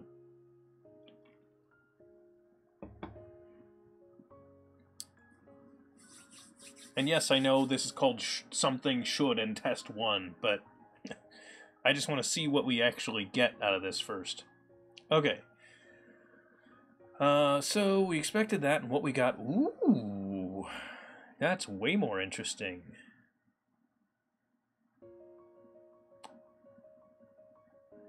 That's cool. So I was already actually wiring this up to be kind of neat. Um, yeah. Weird. That's nice.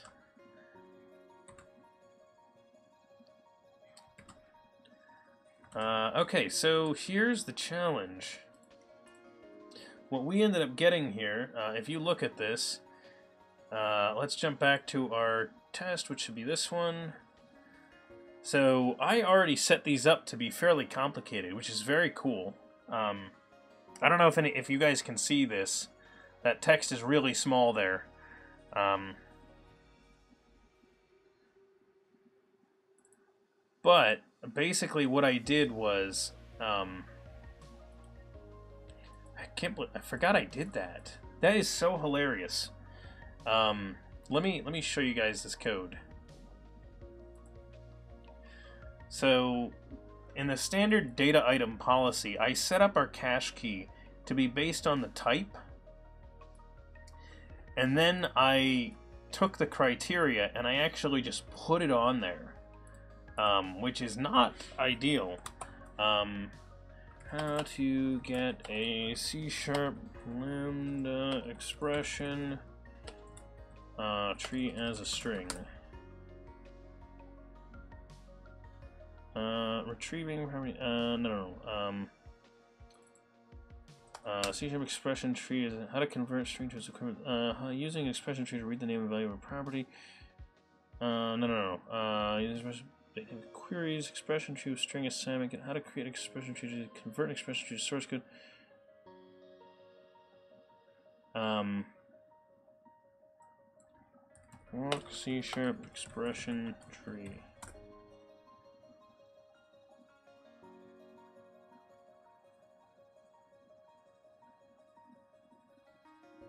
Create an expression tree. Um, do, do, do, do. do you have it? Someone has to have it for me. Come on, guys. Did someone not just write this for me?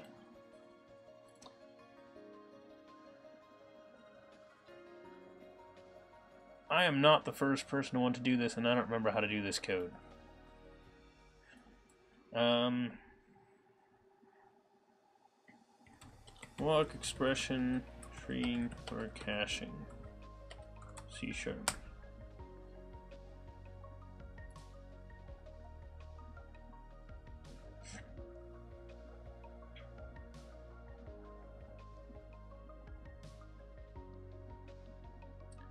Uh,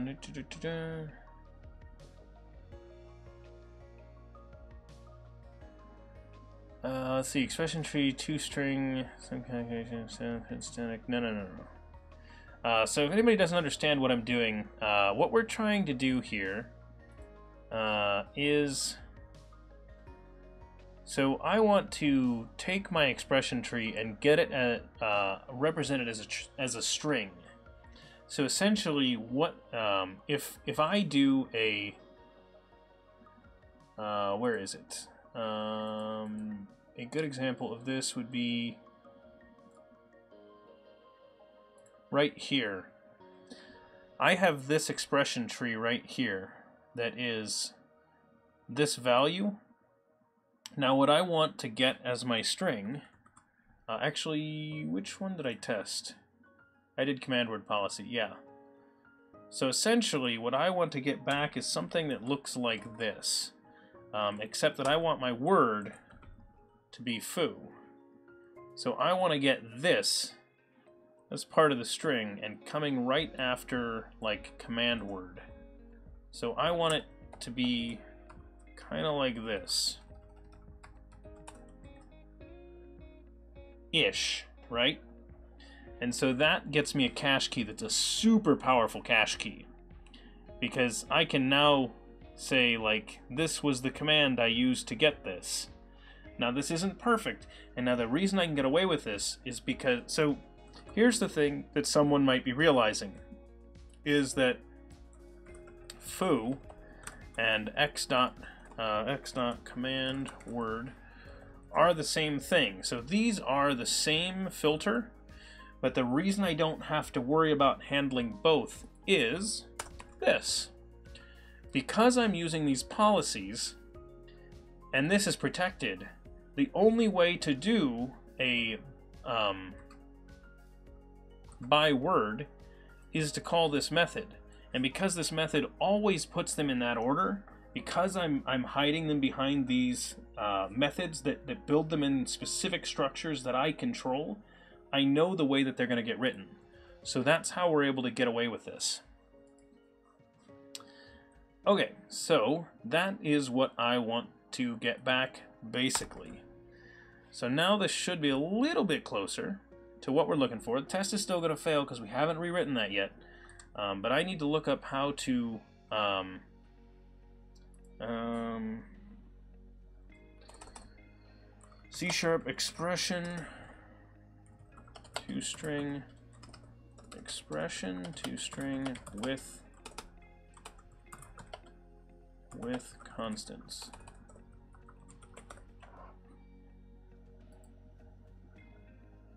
Uh,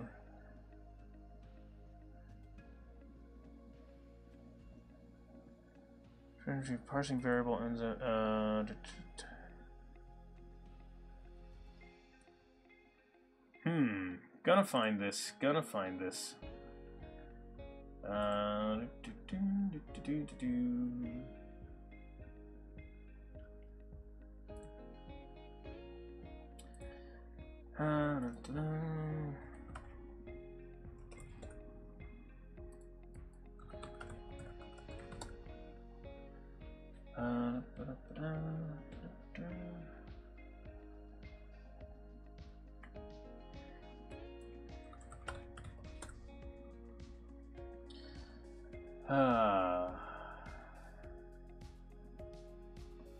I can do it another way, but I like the I like just using the expression tree because it, it's nice and it handles all cases.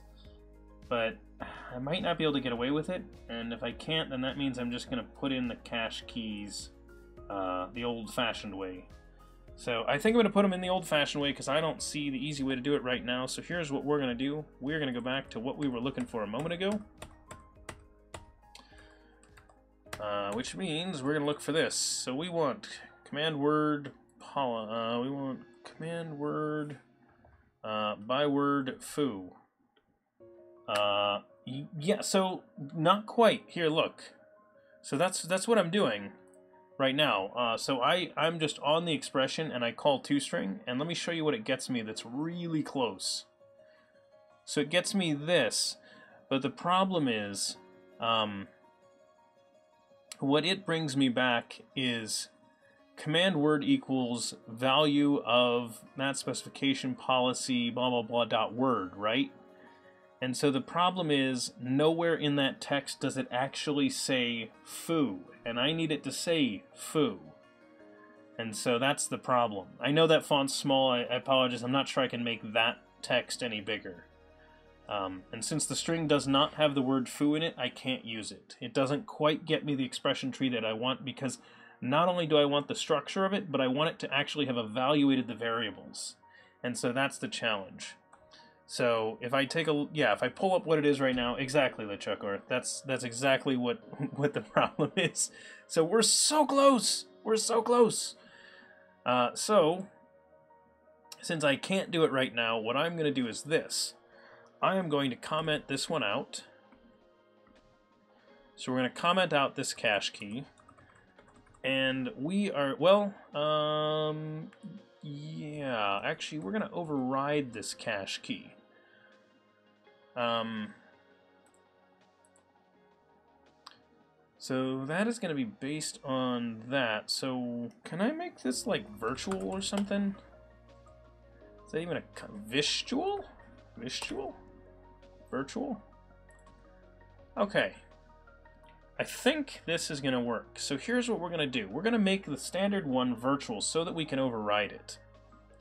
Then what we're going to do is we are going to go to the child one, which is the command word policy, right down here. And what we're going to do is we're going to pass in uh, essentially uh, the cache key to this. So we're going to make it so the command word policy understands that we might want to pass that in. And actually, do we want to put it on this or do we want to put it on the data item policy? Um, hmm. That's a good question. Here's what we're going to do. Uh, we are going to put that in here. So we're going to say, um,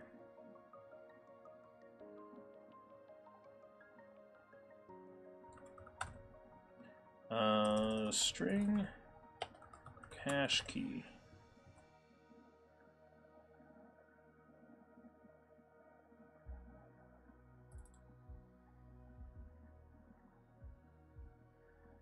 And we're going to make this optional. Now here's what I want to do. We're going to make a backing field for this. So we're going to say private string underscore cache key we're gonna um, set underscore cache key equal to the cache key that gets passed in. So if they don't pass one, it's gonna stay null, and we're gonna use the we're gonna um, create it. Uh, Cobalt, welcome. Hopefully you're having a good day. Uh, and so here's what we're gonna do. We're gonna say return cache key if we have it. If it's null, instead return back the result of this, which is actually going to be the assignment of the cache key. So we're going to say assign the cache key equal to that value and return it then. Essentially, this is doing a lazy load of this value. So if you set a cache key, cool, we're going to use your cache key. If you didn't give us a cache key, we're instead going to make one using this value. And this is not going to happen until someone asks for the cache key, which is important because we want to make sure that uh, if something did change the criteria or something, if something happens in one of our lower pieces, we don't do it until the last second. Um, and I'm going to leave it private for now, so it has to get passed in through this constructor. If we later want to change it to protected, we can, and we'll see what happens with that. Okay, so let's hop back to our command word policy where we were using this. And we're now saying that we can make a cache key for this. Uh, so what I'm going to do is this. I am going to say I'm going to I'm to use string interpolation to build this because I think it'll be a little bit nicer. Uh, I think it's bad practice to assign something explicitly in a setter. Oh, in a getter, I mean. Uh, are you talking about uh, this? Doing this? This is a lazy loaded uh, uh, assignment. AJ Ukraine? I think is your name. Uh, it's actually pretty common. Um, that is basically a way of lazy loading that, that value, and it's essentially giving me a, a default. It's uh, it's actually it's not bad.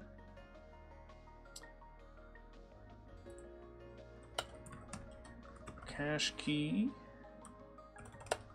Uh, we're also going to make that one default to null. And then I'm going to put this in here. Cache key. There we go. So now we're going to pass in the cache key if we get it, and that'll work fine. So what I want to do is this. Uh, did I, in my test, say that we wanted to use type? We want to use type. So what that means is we are going to uh, pass in... Actually should have been this. So we're going to say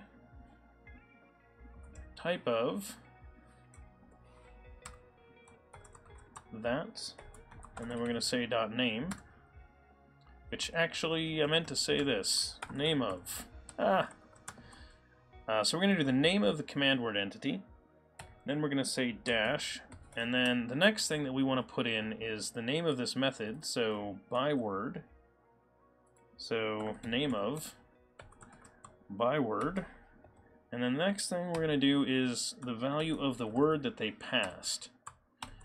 So there is our cache key. And that should make uh, should make that work. Let's go ahead and try out this test now. So we're going to run this here and see what we get. Uh, Ineffable Prime, you look good, brother. Uh, thank you very much. I appreciate it. Uh, I feel pretty good. I've been having a good day. Uh, even on a Monday, you can have a good day sometimes. So we're writing some fun code. We're getting some good stuff done, and our test passes. So awesome. Uh, so what that tells me is that we want to change this name to cache key should.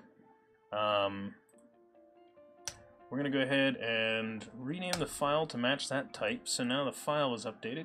Now I want to change this test. So, um,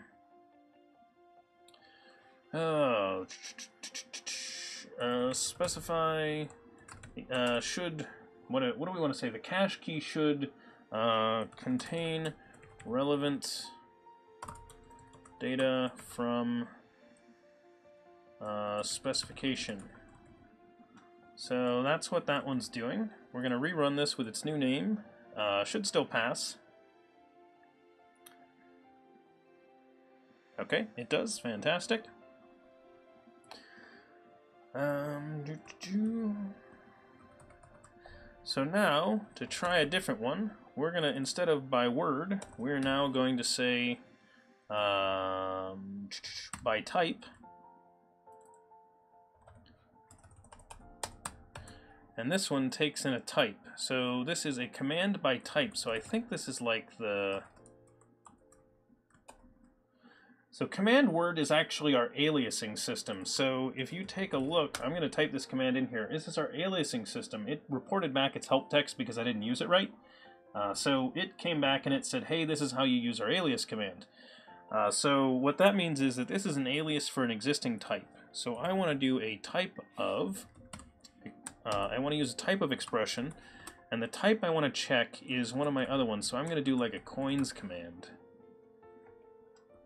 Because our coins command should be able to have an alias set up for it.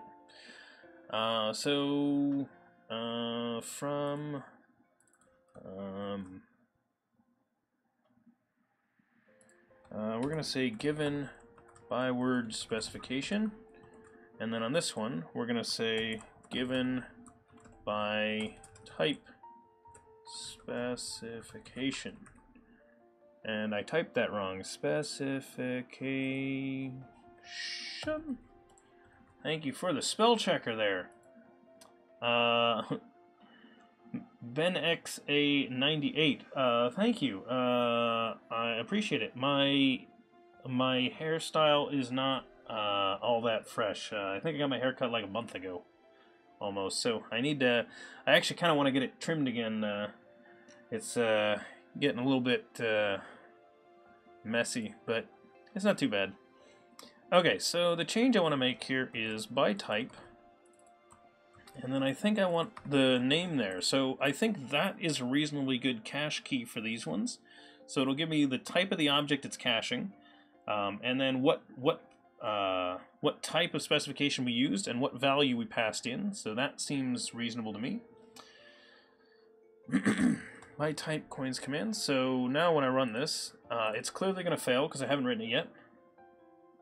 So, and yeah, we we don't we don't have a typo.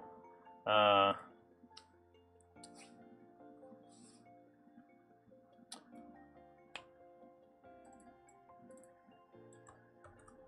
Hmm.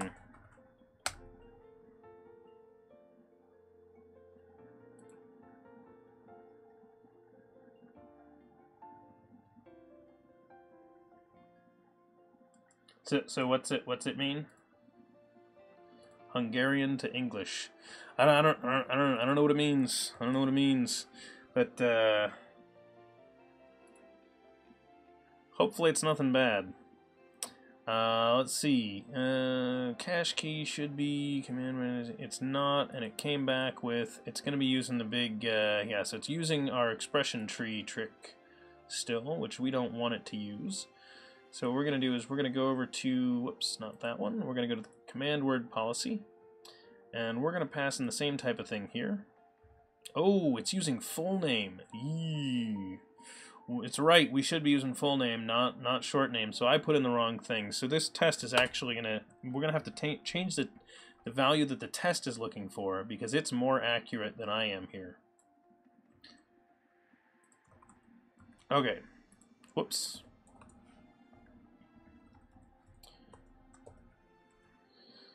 Uh, so, let's bring this down. There is a cool trick that I want to use here, because I am realizing that we can get away with something. Uh, and I don't want to use word, I want to use type dot full name. So we're going to use full name there. And uh, that should work.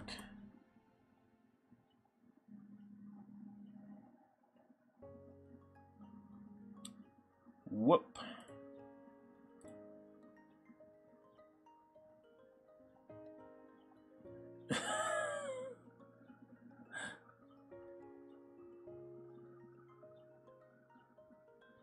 Uh, uh, alright. Uh, calm down there, Ineffable Prime. Calm down. Alright. Anyway.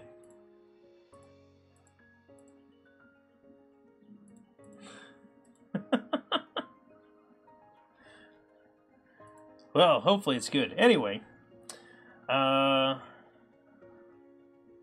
So, hopefully everybody's still uh, still having fun here. So here's the cool trick that I want to do. So I've got this code, and I want to be able to generate these uh, cache keys in a nice way.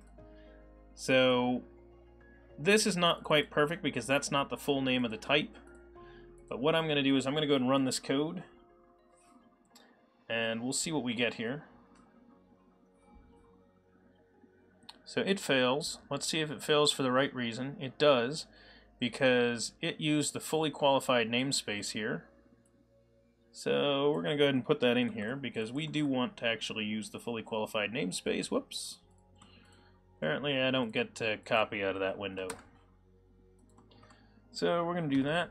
And devchatterbot.bot.core.commands.coins command, and that one should work, right? But actually, that's silly to put that in here, so I'm going to do this, and I'm going to say...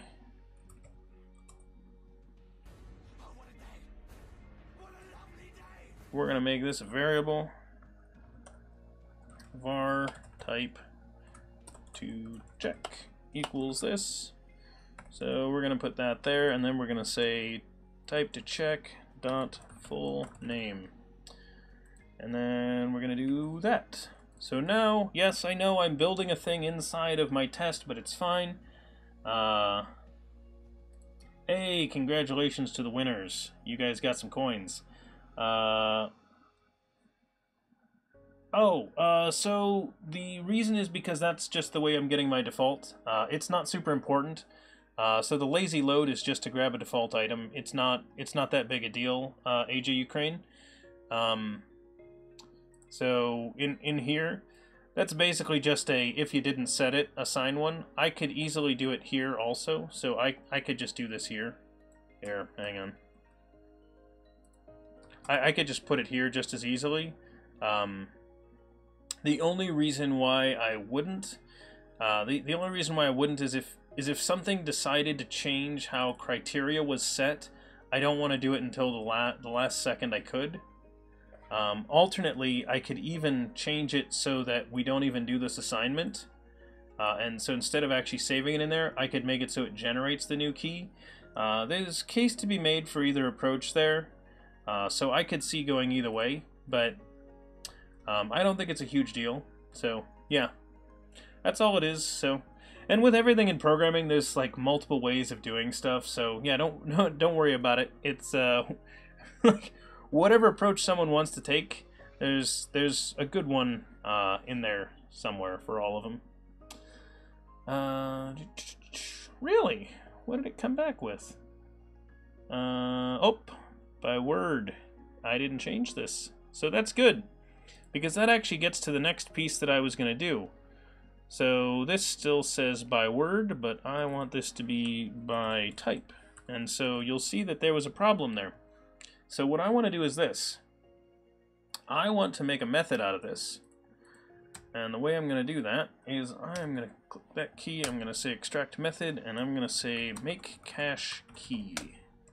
Now this might end up going somewhere else, but here's what we're going to do. We have a cache key, so that gets us that thing. Um, we've got that, and then this piece is a string. So I want to take this as a parameter. So we have, wait, we passed in type? What did we pass in type for? Oh, type dot full name, right. String, uh, what is this? Um,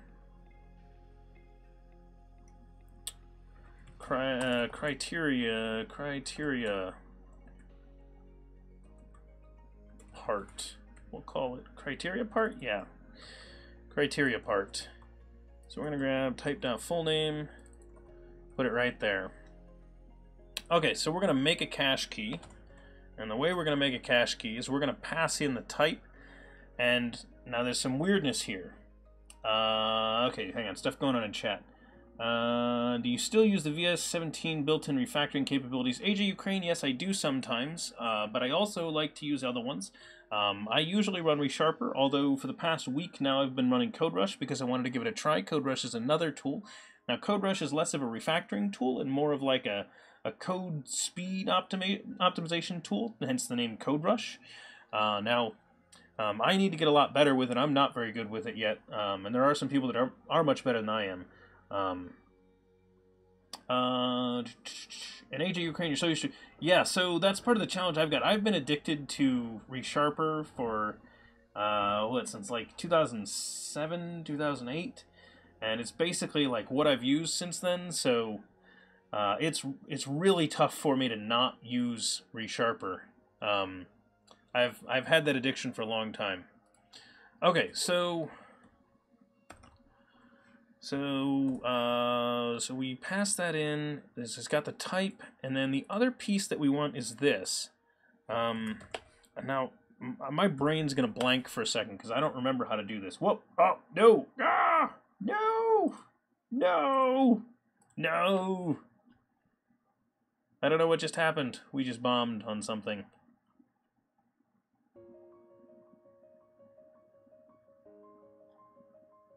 Oh, okay. Well, yeah, I know that could happen. We have bad concurrency. Sorry, guys. Give me a second. I'll bring the bot back. Okay. Uh, yep, yep, yep. Yeah, my yes, I called Sadukie old. And I apologize. Sadukie's not that old. She's, you know, uh, know, normal age, regular age, something like that. Yeah, yeah, yeah. I broke the bot. He's back. He's back. As, like, keep in mind, everybody, this bot is under like active development. I mean, it's in this Visual Studio that it's running. So, like, when we say this is an unstable build, we mean this is an unstable build. So don't mind if there if if we run into problems. It's gonna happen. All right. So here's the cool thing that I wanted to do. Uh, now I want to make sure that I don't mess this up and look like an idiot on stream. So um, C sharp calling method. Uh, call, uh, no, calling method uh, name attribute. So caller member name attribute is this one. I think is the one that we want. So caller member name. So I am going to say caller member name or something like that. String caller name. Something like this if I'm remembering correctly. Now, what does it not like about this? Allows you to obtain the caller member name. Okay. Has to have a default value, that's fine. And optional parameters have to be last, which means that this has to come at the end. Uh, so what we're going to do is this. We're now going to pass in that. We're gonna see what it does. Cross your fingers, everybody. Cross your fingers. Yes, good old Furches.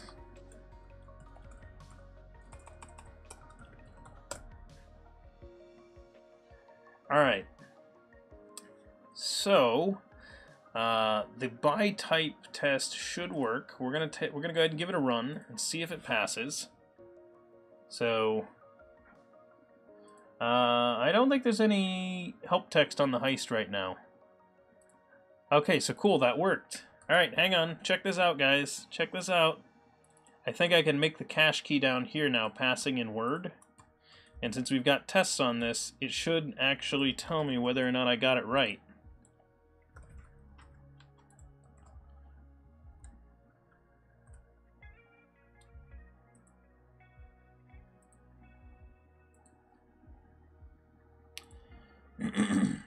uh, I think the heist command is in there. Didn't I? Did I? I think I merged it in, didn't I?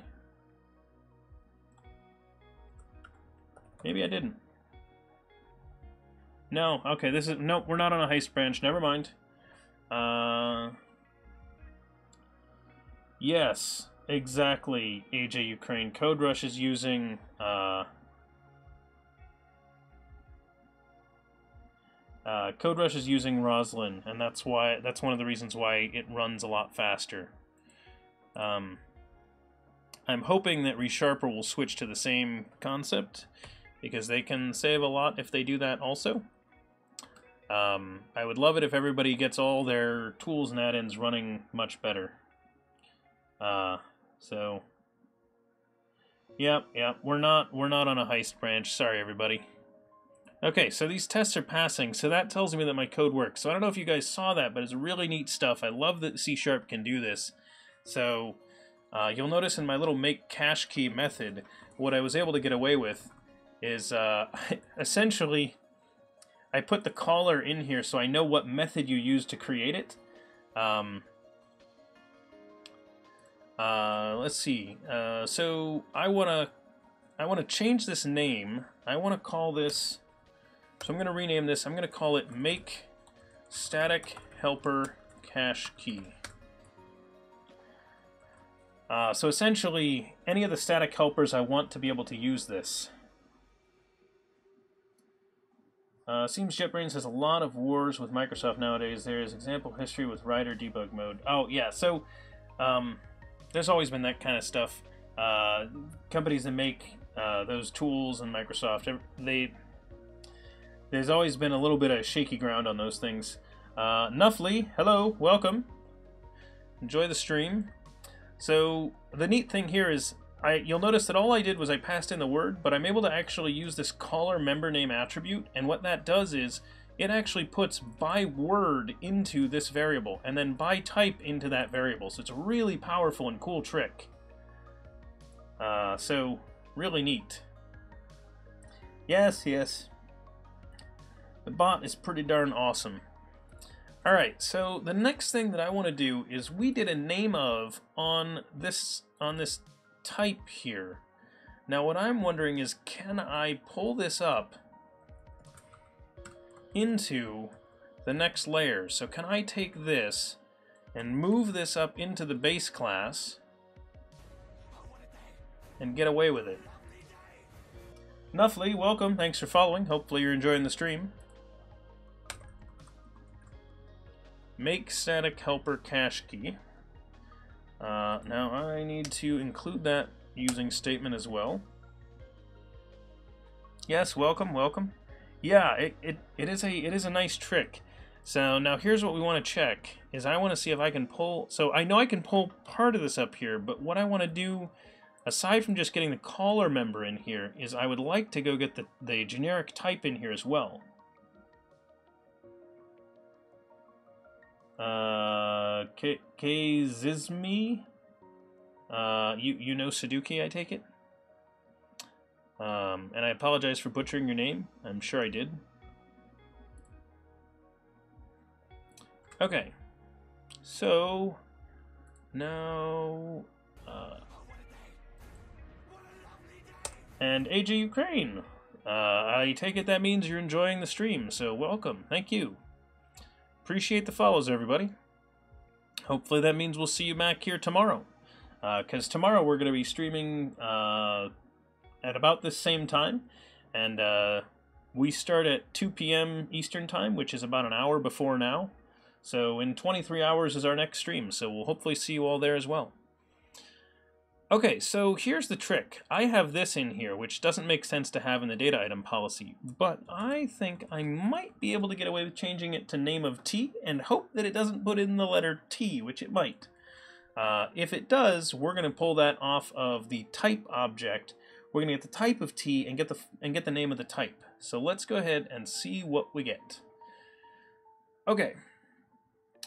So I am going to go run this test again, and that change should recompile, run it, we'll see what we get. Hopefully it all works.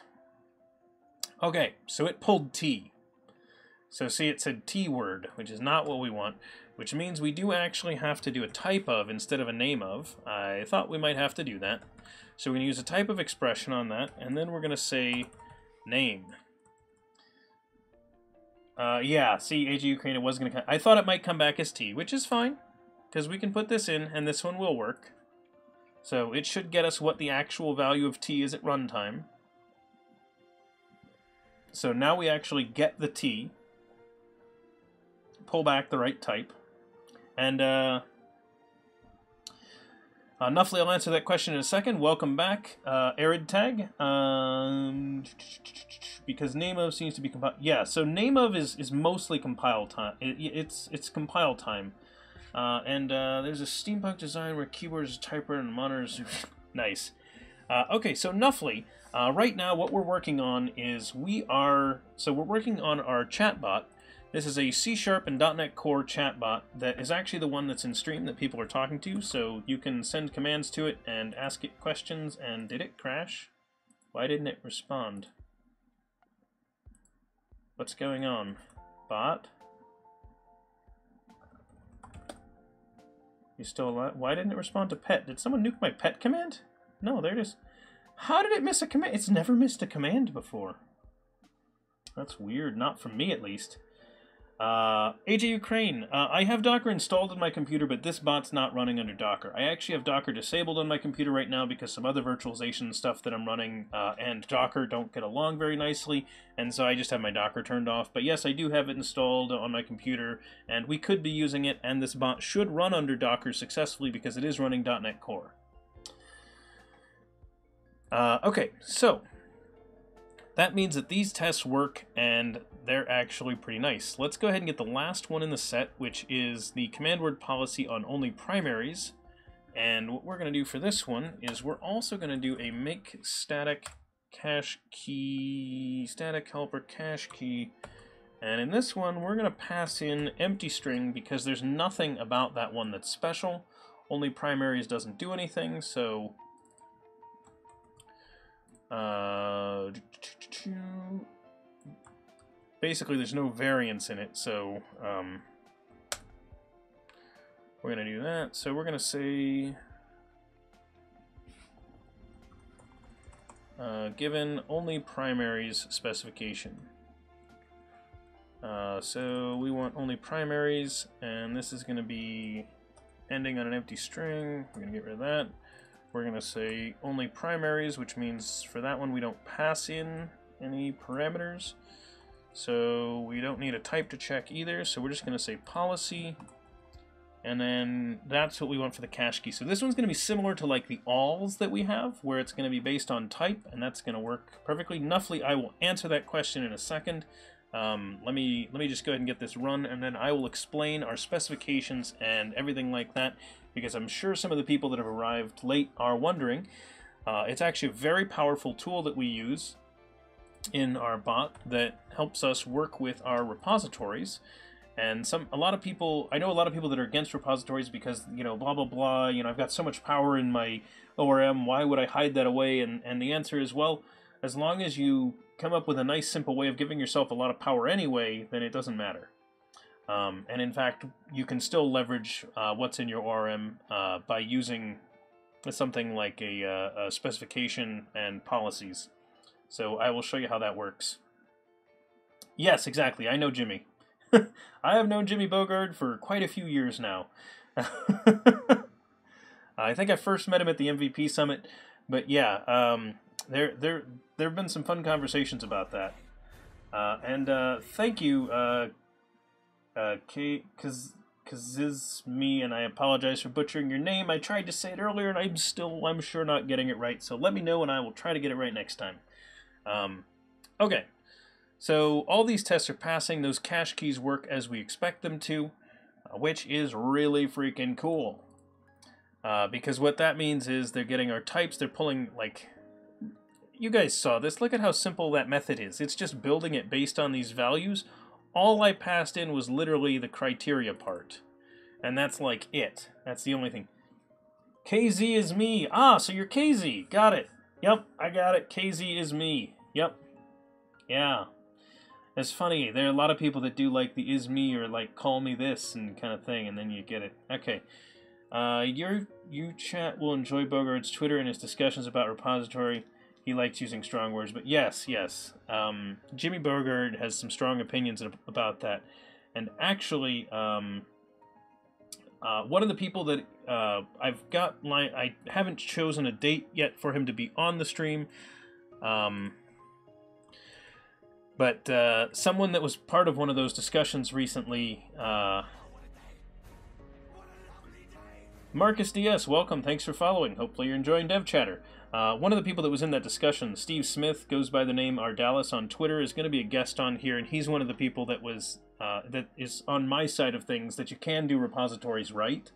Um, but I agree, like some repository designs uh, are are total garbage, and uh, they will send you down the wrong path.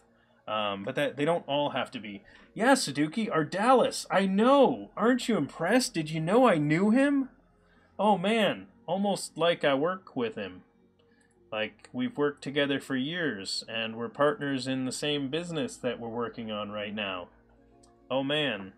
Okay, so here is what I want to do. Um, first off, I want to look over at my cat who's causing trouble in the room. Uh, but at least he's not trying to climb my leg, so that's a positive. Um, uh, I want to make this all work and the way I'm going to do this is I'm going to call a make static helper cache key. Uh, but what I want to do is this. Um, I want to do... I want to do basically the same test we just did in our specifications, but do it for the data... Oh, uh, actually, I just remembered someone asked me a question. Uh, yeah, KZ, uh, Steve does do cool stuff. So the reason why I was joking uh, wait, hang on. What is going on? Uh, I will enjoy that talk with Steve. Yes, Steve will be on here. It'll be good. Uh, Sadukie, holy cow, you should have stream of all of us who live within a small radius. Yes, Sadukie. What you do know, I thought I so. Okay, so here's here's what Sadukie and I are talking about. For anybody that's in, that's wondering what me and, and my moderator are talking about. So Sadukie lives that way, um, just like a few miles that way. Ardalis lives like five miles that way.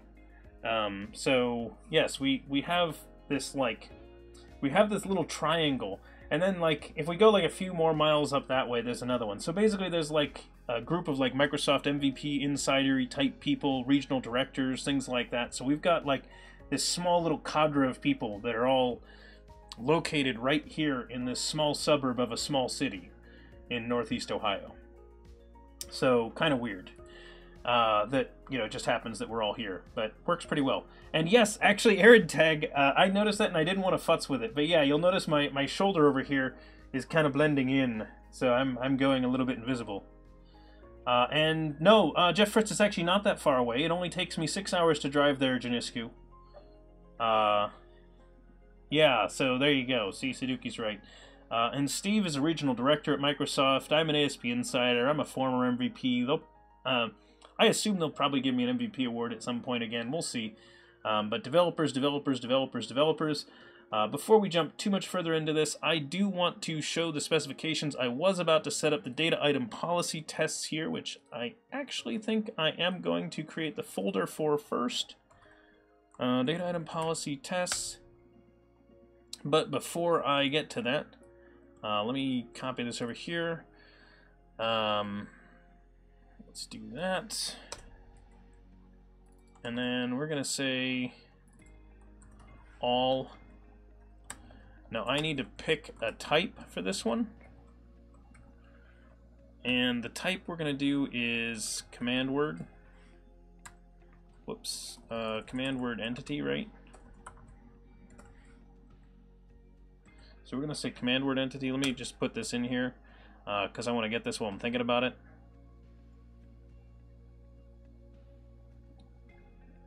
Uh, and it requires... What? What's it require?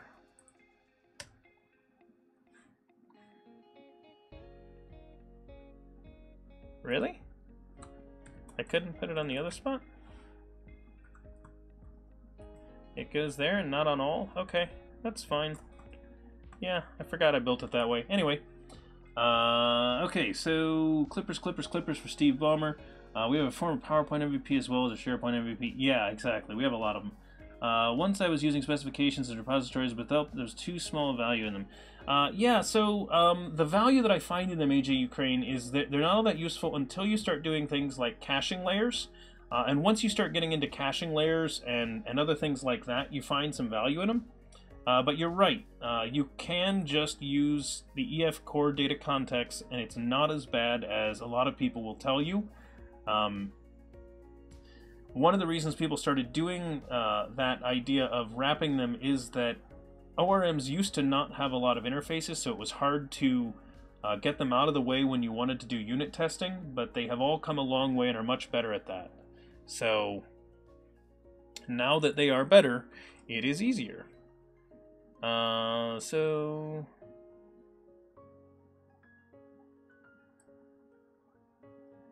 put that there data item policy test that contain relevant data uh, should um, uh, contain type and all given all specification. My cat is knocking my green screen. Hopefully it doesn't fall over on me. Didn't, so we're going to call that a win. Oh, thanks, cat. Yep, Yep, just climb on me. I'm, you know, don't worry about it.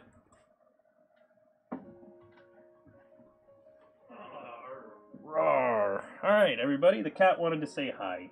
This is my cat. His name is Jolie. He is very sweet. Don't you love Jolie? He's a great guy. See? Everybody say hi to Jolie. Yay! Look, he's a kitty. Okay. Time to go down.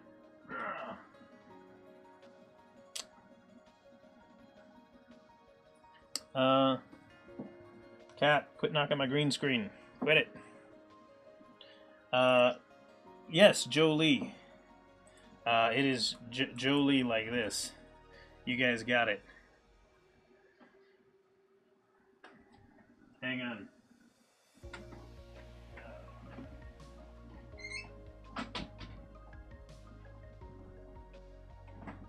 he was having a little bit too much fun knocking the green screen around and I don't want it to fall on me.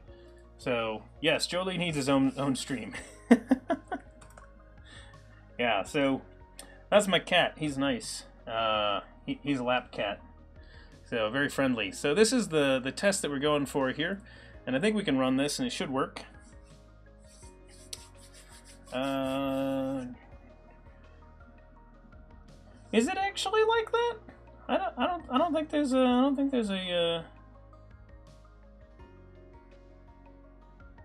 I mean, I can check, but I don't think there's one.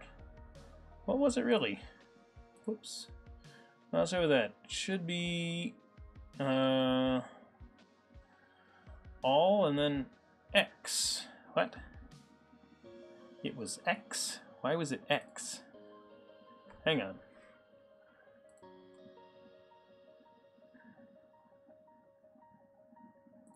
Oh, right. Because I didn't pass it in yet.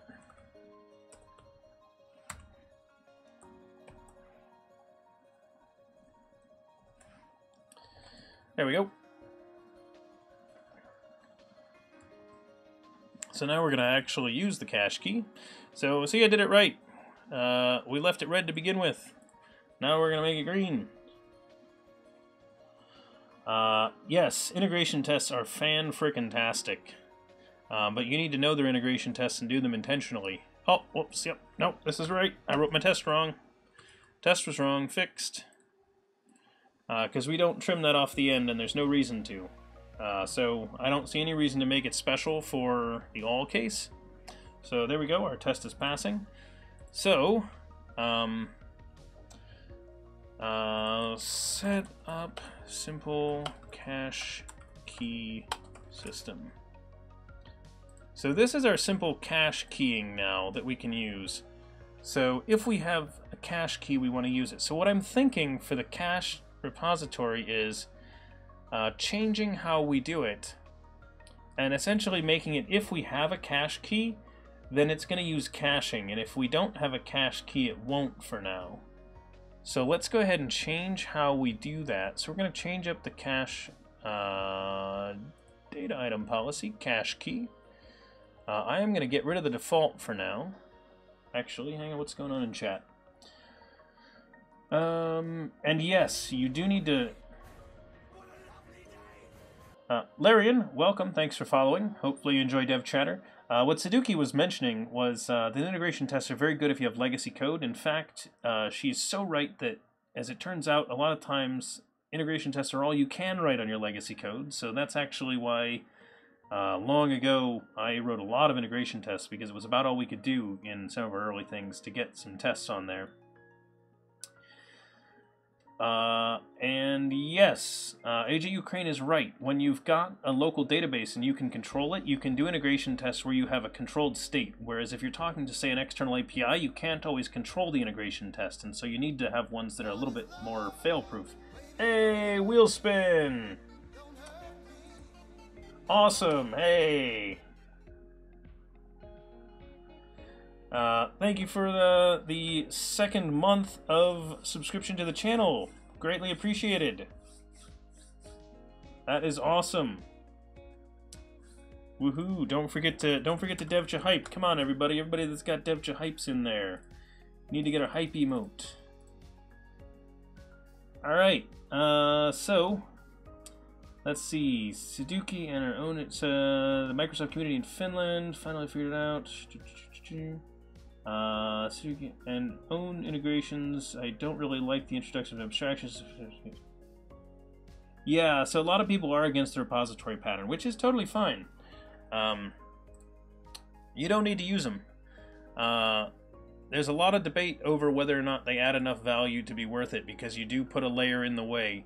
Uh, the thing that I like out of them is that you can do things like cached repository and a logging repository and other layers like that that help with things.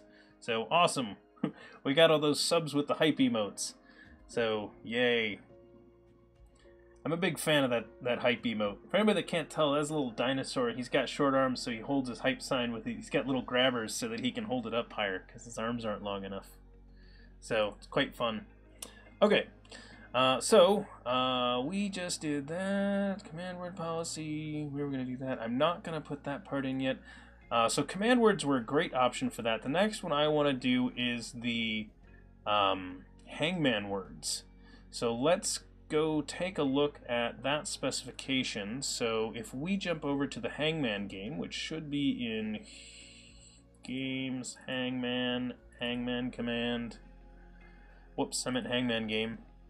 Inside the hangman game, it does the list, and it did it without actually passing in a value. Um, so we didn't pass in a specification, which I'm not totally sure about just yet. Um, what we want to do if you don't pass in a specification, I think what I want to do is change how this works. Um, so here's what we're going to do. So we allow it to, to take in a null, but I kind of want to change this. So let's go to the implementation of this. And um, inside of here, whoops, not that one.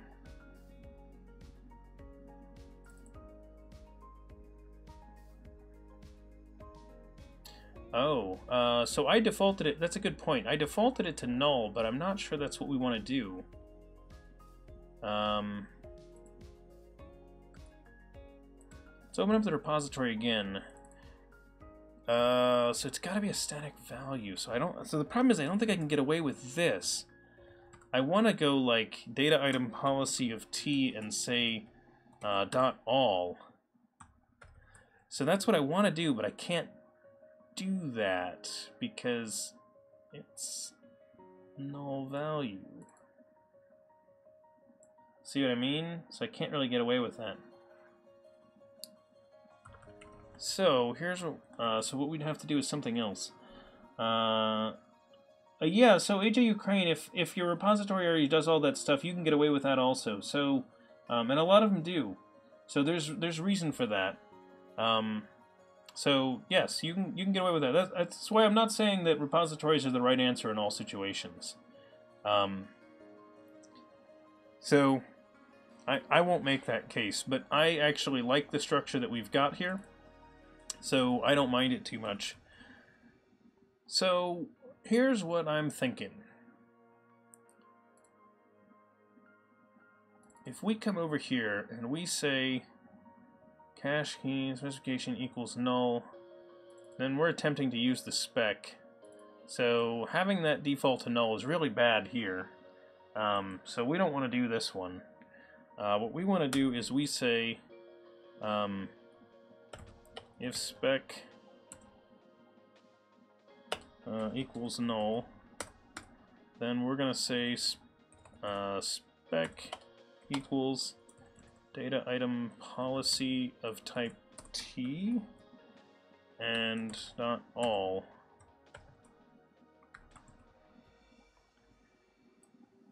So we're going to put this at the beginning of these, and yes, I'm going to put it in both, even though that's not as nice as I'd like.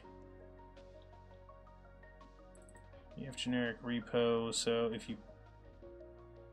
Wait, in this one it requires it. That's weird.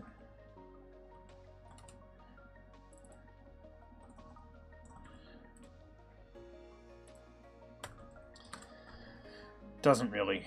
Don't listen to me. Uh, and yes, AJ Ukraine, you are absolutely right. This project is... Uh, so, for anybody that doesn't know, uh, we are doing a chatbot. It's actually our Twitch chatbot. It's the one that you see that we can talk to in chat. So I did my GitHub command. It responds with that text. You can see it over there on the left. Uh, what AJ Ukraine was suggesting is that this is a learning project, and that is actually very correct.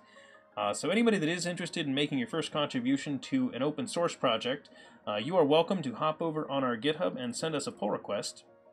So we actually merged in a couple of pull requests from people today, and um, so if you are interested, you can go here, you can take a look at the issues list and pick something that you think would be good. Uh, and if you want to do that, I'd recommend you filter down your labels by clicking that button that I just did there to get down to good for good first issues. And those are some things that um, we thought would be pretty easy for someone to start with. But there are plenty of other ones, and some of them don't. Uh, some of these ones that would be good first issues uh, some some are and they aren't labeled as such, so don't let that discourage you. If it doesn't say it's a good first issue and it sounds interesting to you, you can still work on it.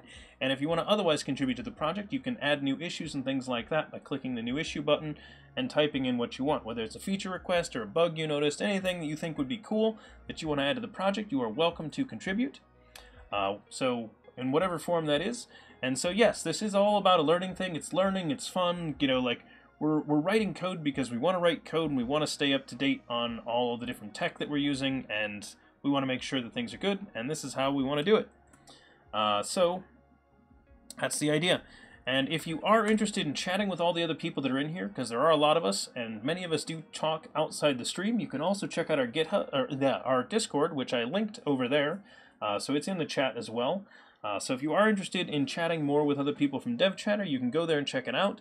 Uh, a lot of the people that do uh, pull requests to the project are in our Discord and talk about their pull requests before they send them in. So if you want to talk to more devs about that stuff, you're welcome to hop over there. And uh, our Discord also uh, has sections for chatting about different technologies. So if you're JavaScript dev and the C Sharp stuff's interesting, you can talk to us about C Sharp, or you can hop over into the JavaScript rooms and talk to people about JavaScript. Uh, or, you know, we've got other tech as well. So whatever you're interested in, you can take a look. Okay, so uh, jumping back to this code, so I'm going to force it to use that data item policy. And actually, now that I think about it, someone had asked how these specifications work. Uh, so I will show that really quickly before we move on. So let's go into our project specifications. And if we take a look at our I specification, uh, bot infra Discord, uh, uh, yeah, there is a pull request to add Discord, uh, but I have not add. So our bot is eventually we're going to connect it to Discord eventually, but I haven't yet. Um, and one of the pull requests is uh, to add Discord connection, which I haven't done yet, and I really need to get to that one soon. Uh, so the person who asked about this, I forget who it was, someone asked about how these worked. Uh, so I'm going to explain our specifications really quickly. Um, and I think it was uh, Nuffly that asked about it. So hopefully I get the answer that you were looking for here, Nuffly. Uh, you actually asked what the command word policy is, but I'm going to explain it by explaining what the I specification is, since it implements that. Uh... Wait, what? Crimson Green, what? I'm confused. Why why did you ban people? I will ask Crimson Green about that in a minute. Anyway, uh, I guess I shouldn't say which mods banned people um, on stream because that's not very smart of me. Anyway, so this is the relevant piece about what an I specification is. Um, it is an expression of function of t, which is a simple way of saying that we want to be able to write a lambda expression that could evaluate in both uh, an EF data context, or it can evaluate against an in-memory collection. So essentially, this is just a filter. So given a t, respond back with a true or false of whether or not it should be included in the set. So examples of this can be found in the command word policy. So this is my expression, essentially saying, you know, given a command word, check and see that that command word's full type name matches the type name given here. Uh, another example is this one. Checking this, check that the command word matches the word specified. So that's basically how these pieces work, and it's pretty simple. So it makes things uh, easy to work with. So I can get away with writing, uh, let's pull it up. So when I want to access the repository, I can say repository list and say command word policy by type get type, right? And then that will get me all of the uh, aliases, so all the command words that will call this command. So that's the way that it works. Pretty simple. Oh, uh, thank you Crimson Green for removing that. Uh, AJ Ukraine. Also, I'll add there is a beautiful language called Lisp, which is complete. you know, AJ Ukraine, you kid, but I actually do like Lisp and, and other similar languages. Um, so uh, I've I've done some interesting stuff with them. I haven't touched them in a long time, but there are a lot of really great programming languages out there. So I don't I don't like being critical of them. I might be a dev that writes things in C sharp, but that doesn't mean C sharp is the best language ever.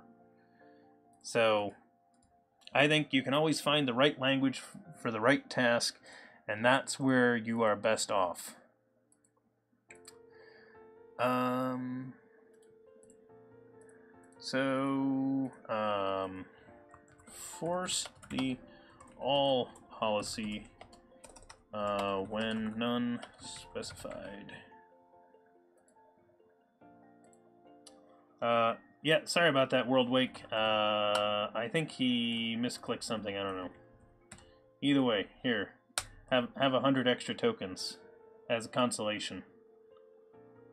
Uh, it's not a critical note. Uh, I mean, for the one who's curious about specification, making abstract syntax tree here, there's a language built around that idea. Yeah, yeah, yeah, yeah. Uh, oh, uh, you accidentally got the ban hammer there, World Wake. That's what happened. Uh, but you've been unbanned now, so yeah, see? the accidental ban on Twitch. Uh, I enjoy reading one of those, but like, yeah, exactly. Uh, what Sadukie says is totally right. There is no right answer. So uh, there are great languages, great uh, there are great frameworks. Uh, there are a lot of good reasons to write all kinds of different code. So don't let anybody tell you that the type of code you're trying to write isn't the right stuff. There are so many uh, so many things there. Uh, and uh, Nuffly, I do have Rider installed on my computer, and I have tried it. Is the short answer. Um, we haven't used it for this yet, um, but that doesn't mean that we won't. Okay, so uh, where was I? So we were writing that, and I want to make it so that uh, so we're now using the all data item policy. So what I just changed is this. I just made it so that if you don't mention which uh, specification you want to use, we're going to use the all one, which basically means we're going to apply a where true statement. So it's going to be an, essentially a no op. Uh, and then we're going to put in a special cache key for that. So what this means is that now when we use the um, when we use the hangman word policy, the hangman word should now be able to use a uh, data item policy from with an all on it, which means it's going to get a cache key. So it should be able to now cache all of those once we start using this cached repository, which we're not using yet. We haven't wired it up to actually be used. Uh, okay. Uh, channeled my inner Hulk. Uh, accidental display of power, shock and awe in Twitch chat. Oh yeah. Uh, acc accidental. Uh, I'm working on Entity Framework. Listening some nerds with glasses. I kid. Yes, yes. I, I am some nerd with glasses. I don't. I don't. I don't what, what do you think? You think I don't? You think I dislike the term nerd? No, I'm a nerd. That's great. Proud of it, man.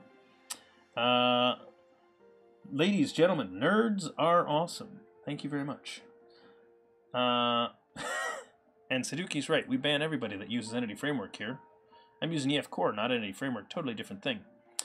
Okay, uh, so we got that. We got that. Uh, we're adding in the caching layer for that piece. So now when I want to wire this up, I actually don't know how to wire this up. There's there's a little bit of magic. Um, ladies and gentlemen, nerds are awesome. Sadukie, do you know how to use the help the the quote command?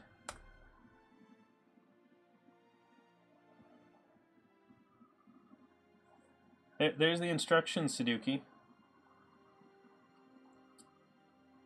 in case you wanted to quote that. Okay. Uh, cache repository set up like that. So I don't know in AutoFac how to make this one work. Um, I will need to look it up. So there's a little bit of magic that needs to happen. And uh, let's see, Ardalis cache repository. Um, structure map. I'm going to bring this up so I can show you guys what I am talking about. Uh, so, hey look, I pulled up Steve Smith's blog. So for anybody that knows Ardalis, I pulled up his blog. Why did I pull up his blog? Because I know he did a write-up of the thing that we do before. So, um, when, uh, so for structure map, uh, this is his example. This is the magic that needs to happen in order to make this work basically we're going to do the same kind of thing. We want to say when when our when our repository is requested, we want to use our cached repository. And then in the constructor of the cached repository, it's going to ask for another repository, and we want to give it the EF repository. And so that's the, the basic way that we want to do this, but we want to do this for AutoFac, not structure map. So this is how you do it in structure map. So let's take a look and see if we can't figure out how we're supposed to do that in the other one. Uh, so, um, how did it set up? Um, this one might be configured in here. For iRepository, added as a single instance. Okay. Um, so register repository set up repository. Ah, okay. Got it. So This was returning back a repository is how we had this work. So since we had to create one in here, we just newed it up and didn't do this. So, uh, in that case, we could just new up our new one here. And we could just new up a new cache repository. Um, except our cache repository isn't ready, so I don't really want to turn this on. Uh, so, uh, and I will catch up on chat in just a second, everybody. So if you did say a bunch of things, um, that I will be there in a second to read that. Uh, we're going to say cache repository. We're going to pass in that one right there. So I apologize for not getting to chat just yet. Give me one second to finish the code I'm writing. Just want to keep things in my head.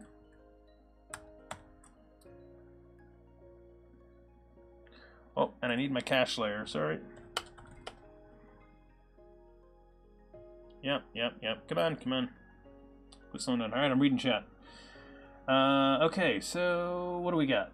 Uh, we need, you're working on a cryptocurrency in C Sharp. Who said C Sharp can't do everything? C Sharp can do everything. Uh, Sadukie added a quote.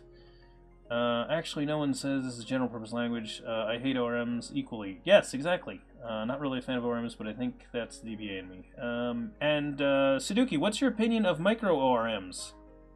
Because um, I like micro ORMs. DevChatter, is Solo Learn a good website to start learning how to code? Um, I don't know the site, uh, but there are a lot of great sites to learn how to code. Uh, so if you are starting off at the beginning, um, there are a lot of places, and I would recommend that. Uh, so it really depends. Um, how how are your like? Have you done any programming before? Are you familiar with like the, the the logic of how that works? That would be the first question I'd ask before I decided where to direct you. Um, it depends, always applies. ORM queries are often quite limited, so you can't either. Yeah, that's the problem with a lot of ORMs is they, they make poor queries a lot of times. Uh, but they also get rid of a lot of plumbing code that you'd otherwise be stuck writing. Uh, kind of great for your commands and system if you use DDD, for example. Yep. Uh, if Brendan wants to show some ORM stuff, we should get we should try to get Julie Lerman to come on and talk about Entity Framework. Uh, yes. Um, and and Sadukie, did you know that uh, Julie Lerman's actually been in town here before? She's she's come out and spoken at our user group before too. So, local one to us. Uh, yeah, it can't do everything. Brave, Brave Cobra's correct, but it does a lot. Uh, micro ORMs like Dapper. Yes, exactly like Dapper, Sadukie. That's what I was talking about. Uh, yes. So I I like Dapper. I've used it in a number of projects. I'm a big fan of it. I like micro ORMs because they do some of the like, you know, switch me between SQL and objects really nicely. Uh, but they still let me control the SQL that's actually run, so that's why I like uh, micro ORMs. Um, so, uh, Pavlovich, Nikolai, uh, I have not tried Kotlin.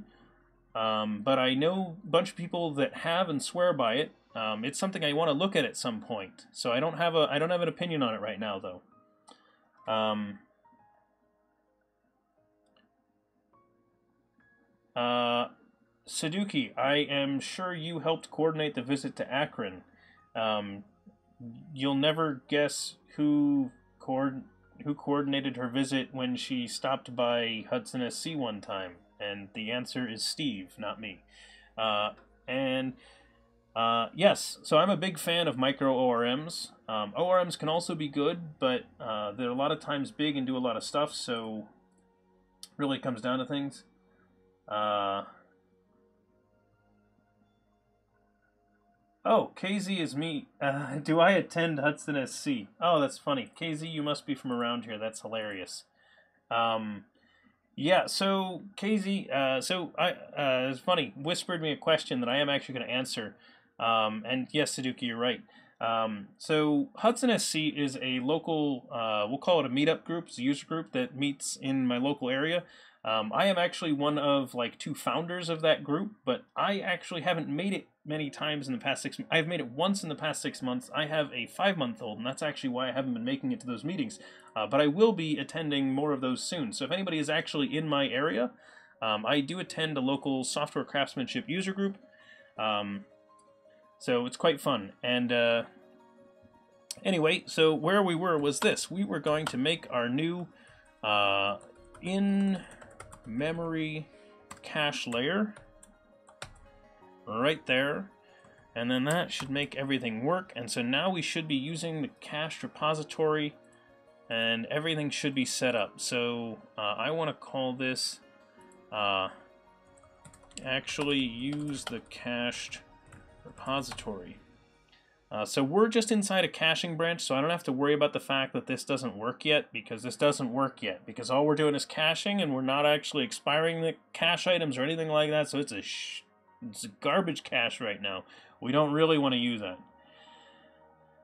Ah, uh, Twitchloff. Yes, I said craftsmanship because thank you. English is not very good at having a neutral word there. Man in this case means like human, not man as in male. Craftspersonmanship. I, I craftspersonship. I can I can try that. It. Uh, Okay. Anyway, uh, da, da, da, so uh, yeah, I can uh, I can talk with you guys um, about Hudson SC stuff at some point if you like, and anything like that. Uh, database access bridge with bad design. Uh, bonus which uh, trying to yeah trying to give out negatives. Uh, yes, yes, I did. Ah, you guys are being jerks here for.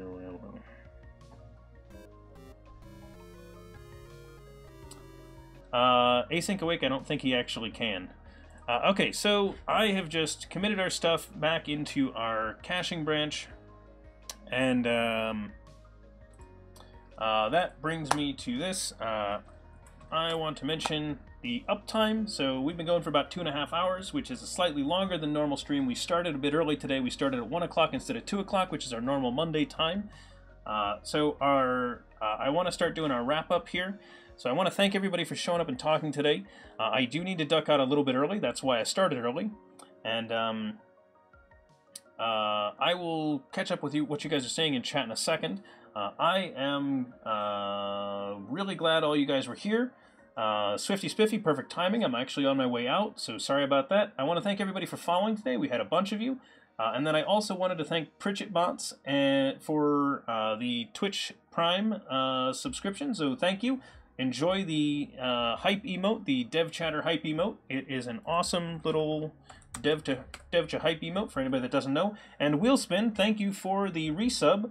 Uh, that's two months in a row now, so thank you again. And um, I wanted to make sure that everybody knows that uh, you can actually find all of the code that we use, all the code we do on stream, everything we type is out on GitHub, github.com slash devchatter. Uh, so you can find it out here. You'll see all of our projects that we work on. The one we did today was the Dev bot, which you'll see right here. So you can go take a look at that. Twitchloff, thank you for the bits. Appreciate it. So, uh, as always, you are awesome and greatly appreciated. Uh, and uh, what was I going to mention? I was going to say that uh, a lot of us actually continue talking outside of the stream. So if you want to talk to other people that are interested in code and talk about code with them, our other dev chatters, uh, the chatter continues over on Discord afterwards. Discord is a chat program that is commonly used among gamers, but it's also used for a lot of Twitch streams. And uh, Meister Hartvig, uh, I apologize for butchering your name. Hopefully, I got it kind of close, but thank you for following. Uh, so, if people do want to keep chatting, you can do that over on Discord. And uh, anyway, uh, I want to mention our usual schedule, which you can find down below. If you are in, uh, if you're on Twitch, you can find it down below, right down here. There's this nice little section here that says now. It says we're live right now, but it will tell you in your time zone. So this is mine when the streams happen. So if you scroll down to that, you should be able to find this, and it will tell you when the next streams are. We stream on Monday, Tuesday, Thursday, and Saturday, and it should put it in your own time zone. Uh, but if you know what your uh, time zone offset is. For example, I am uh, UTC minus 4. I can use our schedule command that we programmed into our bot, and it will give me uh, our schedule in my time zone, which is also useful. And if you want to uh, take a look at uh, anything that we've got coming up, you can also find that over on our stream info section, where if I do plan out what we're going to do for that day, you'll find a link and some information about what we're going to be doing. And hopefully, I will catch all of you tomorrow. Uh, so our next stream is about 22 hours from now, so set your clocks. Uh, that's our countdown. 22 hours, everybody. And we will be live. We are going to write some more um, of our chatbot stuff. Uh, I'm hoping that we can get some pair programming going on tomorrow. Uh, I've got a couple of people that said that uh, they wanted to do someday this week they wanted a pair program, but if neither one of those guys responds, uh, then I will try and convince Sadukie, who is, you know, of course, in here and probably still listening. Uh, so I'm going to try to get them first because they said specifically that they wanted to. Uh, they said specifically that they wanted to be on this week uh, as a pair programmer, so uh, we'll see if we can get them on there. Uh, but we here love Sadukie. She's awesome. She's a very good developer, and uh, would always pair program with her if she'll if she'll work with us. Anyway, I think that's uh, probably a good wrap up for the day. I think I thanked everybody that showed up and everything. Oh, I want to thank C Sharp Fritz for the auto host. So if anybody else is interested in more uh, C Sharp, .NET Core, ASP.NET goodness, uh, C Sharp Fritz is another channel you should check out on Twitch. So go ahead and give C Sharp Fritz a follow. We like him a lot because he gives us an auto host, and any channel that gives us an auto host is awesome in my book. Uh, we actually also auto host him. Uh, so if you're ever checking around, um, Occasionally, DevChatter's not live, but we will be hosting someone else. So if you show up to the DevChatter, you, DevChatter URL, you will actually get to see other streams. So, yes, Swifty Spiffy. Uh, yeah, so C Sharp Fritz is a great guy. I actually worked with him at a previous company, and uh, I've known him for quite a few years. Very good guy. And um, anyway, I think that's about it for today. So Everyone enjoy the rest of your Monday, however much you've got left, whether it's morning, afternoon, evening, or whether you're, say, in like Australia or something and it maybe is already Tuesday. But either way, uh, I hope you all are having a great day, and uh, we will catch you all tomorrow. So thanks, and have a good one.